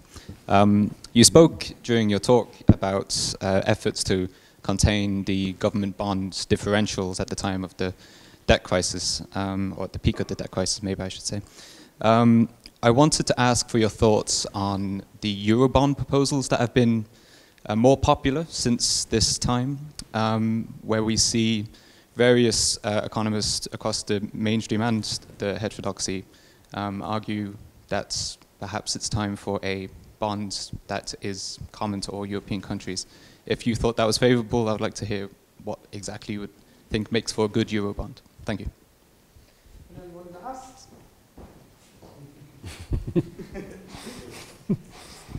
Thank you. Uh, I have a, a specific uh, question. As you mentioned in your introduction, uh, the ECB uh, decided to supply unlimited amount of liquidity, especially on October 8, 2008. And you also mentioned that an important innovation was the uh, currency swap arrangement among uh, central banks. And in, on October 13, the Federal Reserve decided to uh, supply full allotment uh, format to the ECB uh, at a fixed rate. So uh, there are reasons to think that uh, the ECB influenced the um, Federal Reserve concerning the Federal Reserve's decision on October 13.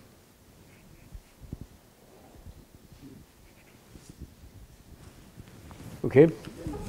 So, uh, first, um, cryptocurrency.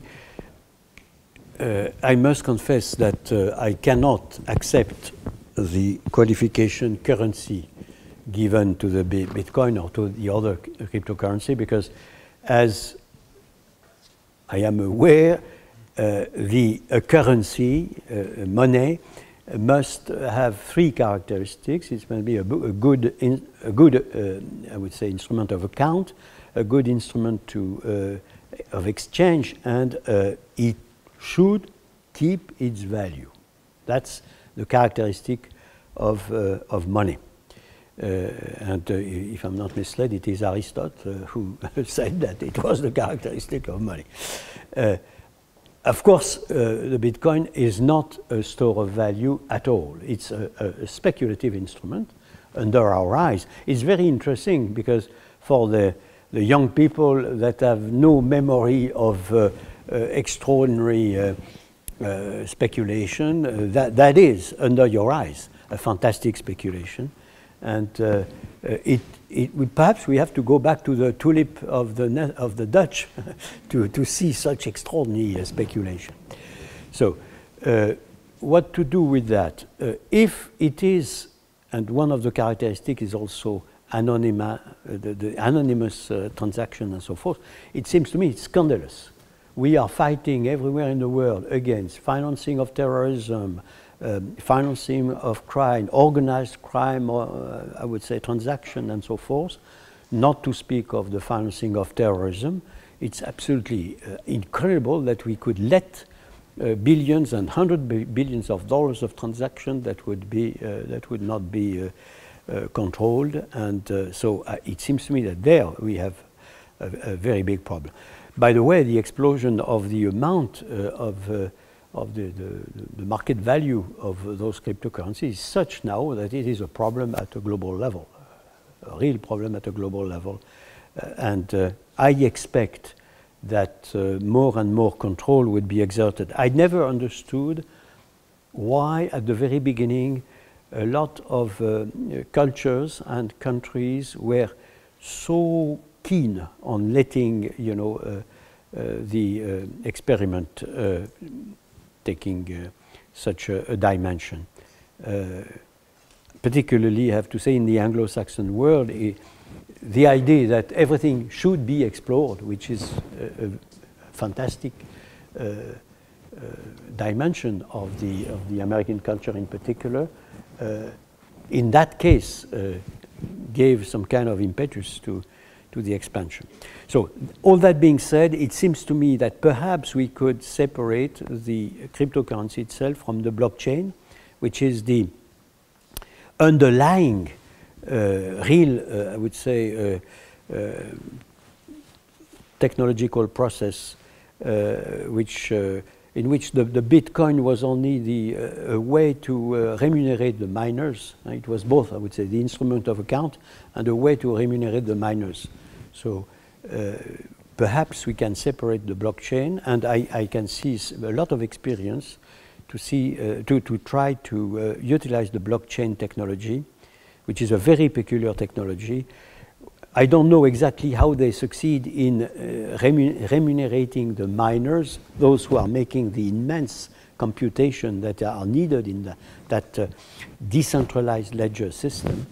But, uh, but perhaps uh, we, we will see. It's true in any case that we have to, to be um, humble in front of the new technologies, and perhaps uh, we will have many, many new uh, try that would prove at, at, a time extraordinarily effective without creating the problem of, uh, of, the, of the present cryptocurrency, both in terms of speculative uh, instrument and in terms of, as I said, uh, of obscure instruments that are utilized by criminals or by, uh, I would say, those who, who want to, to, to, hide their money. Uh, as regards the euro bonds, uh, I would say that uh, uh, we have euro bonds already. The uh, issuance of the ESM, the European Stability Mechanism, are Eurobonds. Uh, if you go to Luxembourg, you will meet people that are excellent, a, a real fantastic technostructure, uh, they know uh, all the markets of the world.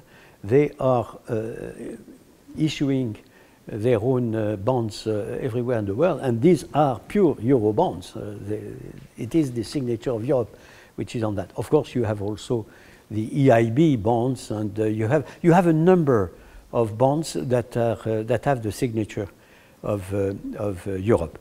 Now, if by euro bonds you mean that we would merge the treasuries of uh, the countries that are member of the euro area and that uh, we would have uh, uh a share of, of I would say, sig signature between the various countries, I think it is quite unlikely that we will arrive that, to that because again, all the system relies upon the still the responsibility of the various countries concerned.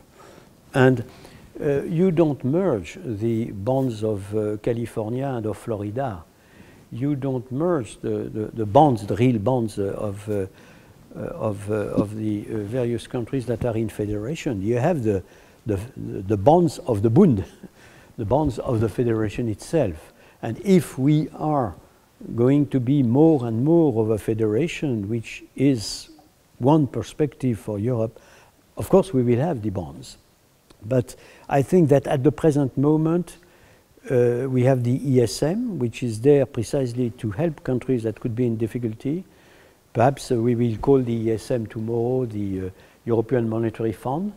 Uh, we have, you know, but again, I personally, I, I was never very much in favor of what my own country was asking for, precisely to, to merge more or less uh, the, uh, the, the, bonds.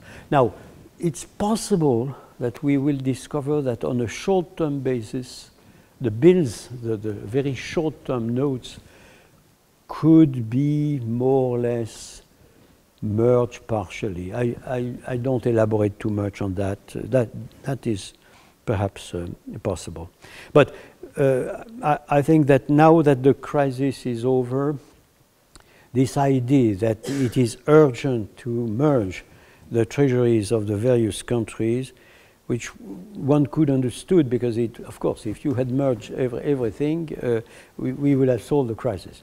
But the burden on the well-managed country in favor of the poorly managed country would have been so gigantic that politically it was not possible in any case. Uh, on the uh, your question on on the um, currency swap. First, first of all, I, I, had no time, of course, to elaborate, but uh, it's been a, a, fantastic help that we could have those uh, uh, generalization of currency swap. And uh, as you remember, it was we had the collapse of Lehman Brothers the 15th of September 2008. So a Monday the next Thursday, thanks to the Fed and to the other central banks that were involved, we could communicate to all markets in the world. So only two days and a half after the uh, bankruptcy of Lehman Brothers, that uh, we uh, had this agreement which practically meant dollars are available everywhere in the world provided you have collateral in your national currency. So it was a fantastic uh, uh, generalization, and of course, it played a very important role in uh, first demonstrating that there, were, there, were, there, there, was a crew in the cockpit of the world economy, and that that crew in the cockpit of the global economy was able in two days and a half to work out a global uh, concept that would permit all uh, institutions in the world to think that they, they could get the dollar liquidity, which was, of course, what was bad. They were all incredibly badly in need of dollar. And uh, even in 07, I mentioned the decision we took to give liquidity on an unlimited basis on the 9th of August uh, 2007, it was because all uh, institutions of the world were tapping the euro in order to swap it against dollar. So it was not the euro which was lacking; it was the dollar which was uh, which was uh, totally. Uh, they were all badly in need of dollar. So uh, whether or not this full allotment was, it's clear that it was our concept. Uh, I, I, have to recheck my note to see whether one could say, well, uh, we, we, influenced sufficiently the US so that they could accept uh, the idea of a, a, full allotment. But clearly, it was the right and appropriate concept uh, at the time, because uh, otherwise, we, uh, you the, the, the, sentiment of lacking liquidity was so generalized in this crisis period that uh, the only way to reassure everybody was to say, you will, you will get all what you need, full stop. And then, of course, there was a general appeasement. That being said, as I, uh, as I said, we still do that in Europe, huh? still do that in Europe, which is also a measure of the fact that we are not in a normal situation yet. Do you have time for one last round? a short one or? Oh yes, yes, I can. I can. Uh, if if uh, if it is 15 minutes, uh, then I, let's do it quickly. Uh, one, I think that was the order. Two, three, four. Oh, but let's do you together so that bye I don't have to run so much. vous, vous n'avez pas de vous n'avez pas de carte sur vous. J'allais justement vous écrire pour le renouvellement du master. je vous laisse une carte et mon collègue Emmanuel Carré euh, va vous envoyer son article. Voilà. D'accord. Je vous la laisse. Merci beaucoup. Merci. Merci beaucoup. Au revoir. Pardon. Uh, Mr. Uh, Mr. Trichet, thank you for your uh, lecture. Uh, I'd like to pose a question regarding the, the, the decisions in, taken by the Governing Council in 2011 regarding the interest rate hikes in April and uh, July that were taken because there, there, was clearly inflation, headline inflation was at 2.6%, so we had pressures on headline inflation despite core inflation was still below 2%. Uh, we had uh, oil and food price hikes. and the, my, my, my question would be, on, on, the other hand, other people have criticized the, the, because it uh, eventually led to the, an increase in spreads from the periphery to the core, and then you, uh, uh, and in August, the, the, governing council decided to uh, broaden the SMP uh, uh, support to Italy and, and, and Spain. But in, on, on, on, take that, taking into the light of that episode, to understand better the, the weights of the price stability and financial stability roles, at least for the European Central Bank, as it doesn't have the, let's say, the uh, uh, unemployment uh, role as the Fed, uh, on light on that episode. And today for that, let's say for our current situation where we have still low inflation, but uh, uh, rising financial stability pressures with uh, some uh, increase in housing prices and uh, other asset prices. Thank you. Thank you. I'm Ettore from option B, from Italy. I have a question regarding uh, what happened before October 2008 in July um, with the decision of the ECB to raise the interest rates from 4 to 4.25 percent.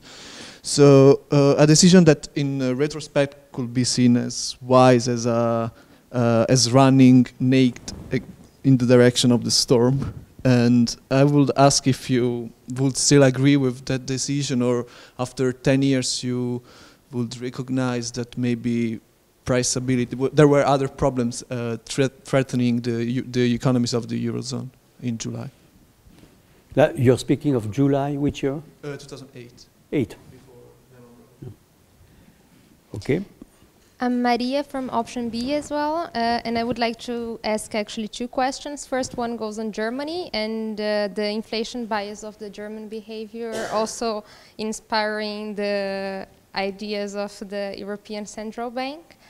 Uh, it has been argued in the post-Keynesian literature that uh, actually Germany got it wrong and France would have gotten it right, not worrying so much about inflation because what happens is that Germany ended up uh, being lucky and being able to sell its products in the international market. So it has been lucky because it uh, has been profiting from actually the demand from the external sector and not from the domestic demand, which in Germany is very weak and at the moment is a bit recovering, but it's still not uh, the main uh, driver of German economy. So the first thing goes in, in that direction. And uh, the second is uh, on the spillover effects of the quantitative policy, but I think also he already mentioned that on his question on the emerging markets. One last, where was it? Yeah. And then that's it. Monsieur Trichet, thank you for the opportunity. My name is Adga, I'm from option B. And in the same spirit as my colleague question about Eurobonds, I would like to ask about your opinion on the Eurozone finance position, finance minister position. I'm aware that you were, uh, you were already pro about the opinion on 2011, and I would like to ask whether you are, you are still maintaining the same level of support about that, uh, about that perspective.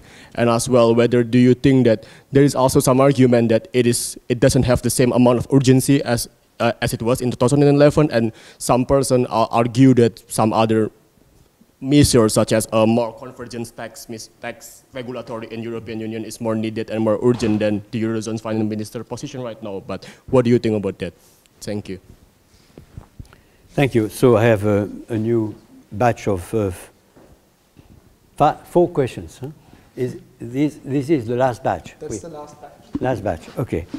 Uh, so uh, on the, uh, I could uh, maybe mention the interest rates increase together because we have two questions on that. I would say, of course, we, we are in situations that are very different from uh, the situation which we, we knew after, uh, long after. In 11, my memory, and that has to be rechecked, was that um, we were observing, and we were very happy with that, of course, uh, a recovery which was quite uh, visible. And uh, there was in the governing council of the ECB the sentiment that uh, some um, social partners, and it was the, the, case in particular in Germany, which we were used to a, a very, very cautious attitude of the social partners, the union in Germany, but we had the sentiment that because of the uh, very high level of inflation, which was uh, much higher than before, there was a call for uh, a change in their own, uh, in their overall attitude. And uh, one of the reasons was that we wanted, be, with this very small augmentation, to signal that we were still vigilant and we didn't want to lose control of the overall negotiations which were taken. It was only a signal. Uh, we were not expecting that it would have a big influence, but it was a signal. On the other hand, we wanted also to demonstrate to the, and, and that in that sense, uh, you see the accountability of a central bank. We wanted to give credit to the idea that we could take any non-conventional measures that we wanted to take. The SMP on Greece, Ireland, and Portugal was something which had been very heavily criticized, uh, but that uh, we wanted to be able to do again, and we did again after these uh, uh increases, as has been mentioned in the case of, uh, of uh, Italy and, and Spain, massively. And I personally wanted to be absolutely clear on the fact that we were inflexible on price stability and inflexible on our capacity, even if it was heavily criticized by, uh, by many, including by anti-public opinion, uh, that we were inflexible to be able to push the button if it was necessary, if needed. And that might be, I mean, I have no time to elaborate much more, and I would, I would uh, like very much to give you the figures in, in order to see in which context it was, uh, it was done. Now, you will, you will say uh, uh, you were probably in the Governing Council too optimistic on the cycle.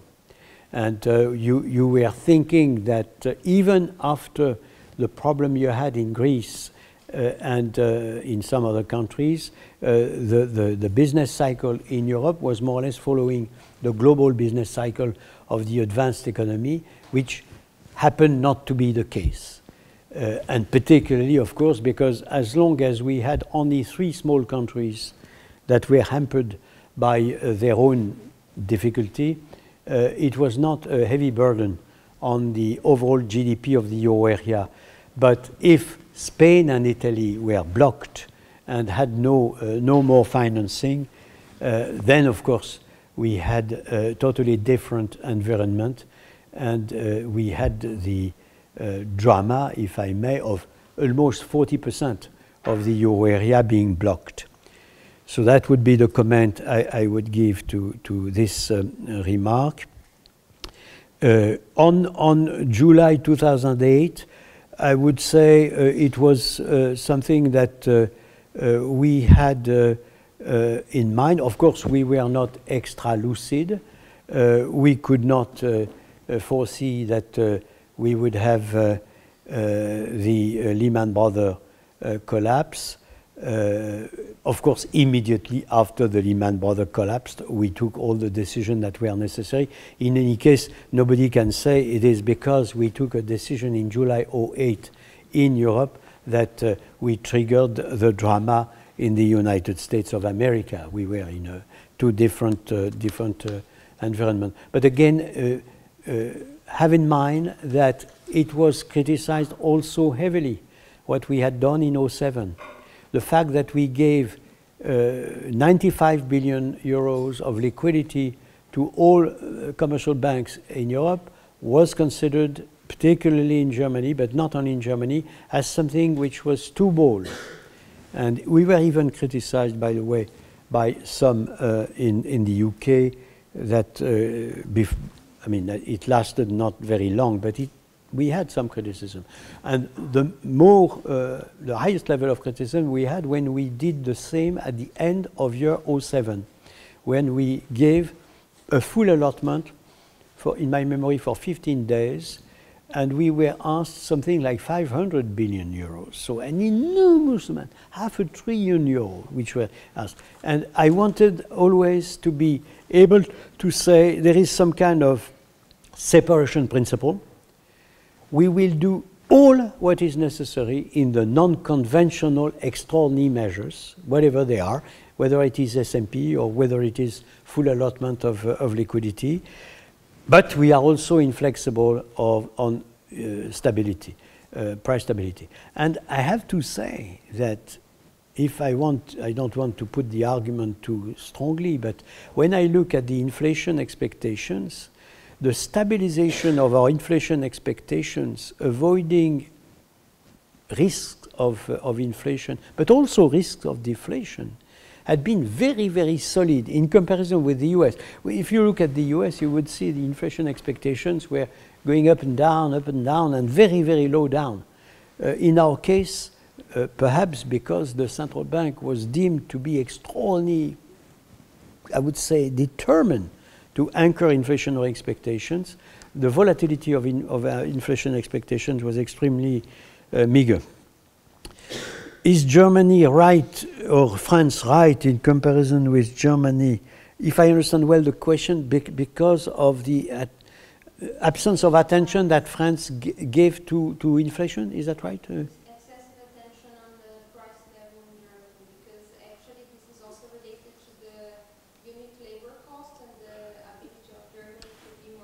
Yeah, but my, my understanding, my, un, my understanding really is that uh, Germany is exporting a lot.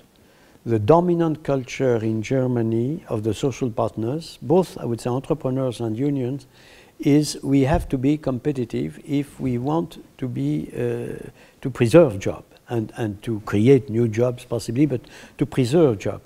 And, and that is the dominant culture because uh, private enterprises that are exporting are uh, very, very numerous. The dominant culture in France is much more the culture of the civil service, big utilities, non-exporting entities.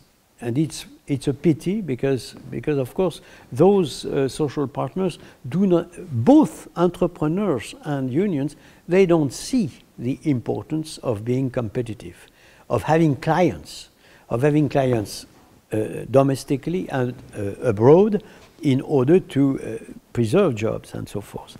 So I would, I have absolutely no hesitation to say that Germany was right. I mean, if, and I guess that it is the main thrust here, and I fully share that thrust, the main success is full employment. You are not for, you should not be forgiven for having mass unemployment eternally. It's your fault. There is absolutely no doubt it is your fault. So if the goal is full employment, of course, France has a very bad behavior because there, are, there is still mass unemployment in France when we were less touched by unemployment uh, in this country than in Germany at the very beginning of the 2000s. So uh, I have no hesitation to say no. I, I think really, I mean, then you can say Germany is overdoing it. Now, they have full employment, but they continue to be very moderate in their uh, augmentation, and that, that is not normal. Uh, it's not the, the a market economy as it should function. Even my friend uh, Jens uh, uh, Weidmann uh, told the unions in Germany one year ago, one year and a half ago, you're, you're not demanding enough. You should, you should be more demanding, which is very paradoxical. But it's true it's true that there is a, I mean, in a way, wage moderation functions so well to deliver full employment that it's difficult for the union to say now we, we change our culture. Finance minister, yes, I think that uh, uh, it's uh, important that we have one brain that would not have any conflict of interest would be concentrating on the management, the, I would say the financial, economic, fiscal management of the euro area uh, without being simultaneously minister in a particular uh, nation or uh, being simultaneously the uh, commissioner of both uh, the European Union and the euro area. So in my opinion, this man or woman will have uh, in his mind all the um, uh, overall um, uh, responsibility of uh, giving, I mean, all their um, their importance to the manage to the overall governance of the euro area. After all, the euro area is a single market with a single currency, size of the United States of America, immense responsibility, and all the responsibility that uh, a Minister of Finance might have uh, in the domain of, uh, of the governance I mentioned. But on top of that, I mean, in a very complicated uh, uh, constellation of various countries, and I, as you could see uh, in all what I said, the difference of behavior between countries, the potential difference of behavior, or the real actual difference of behavior, is something which is extremely important. Uh, in the euro area. Unique, there is no other entity of that kind in the world, and we are still, of course, uh, learning by doing. So thank you very much indeed.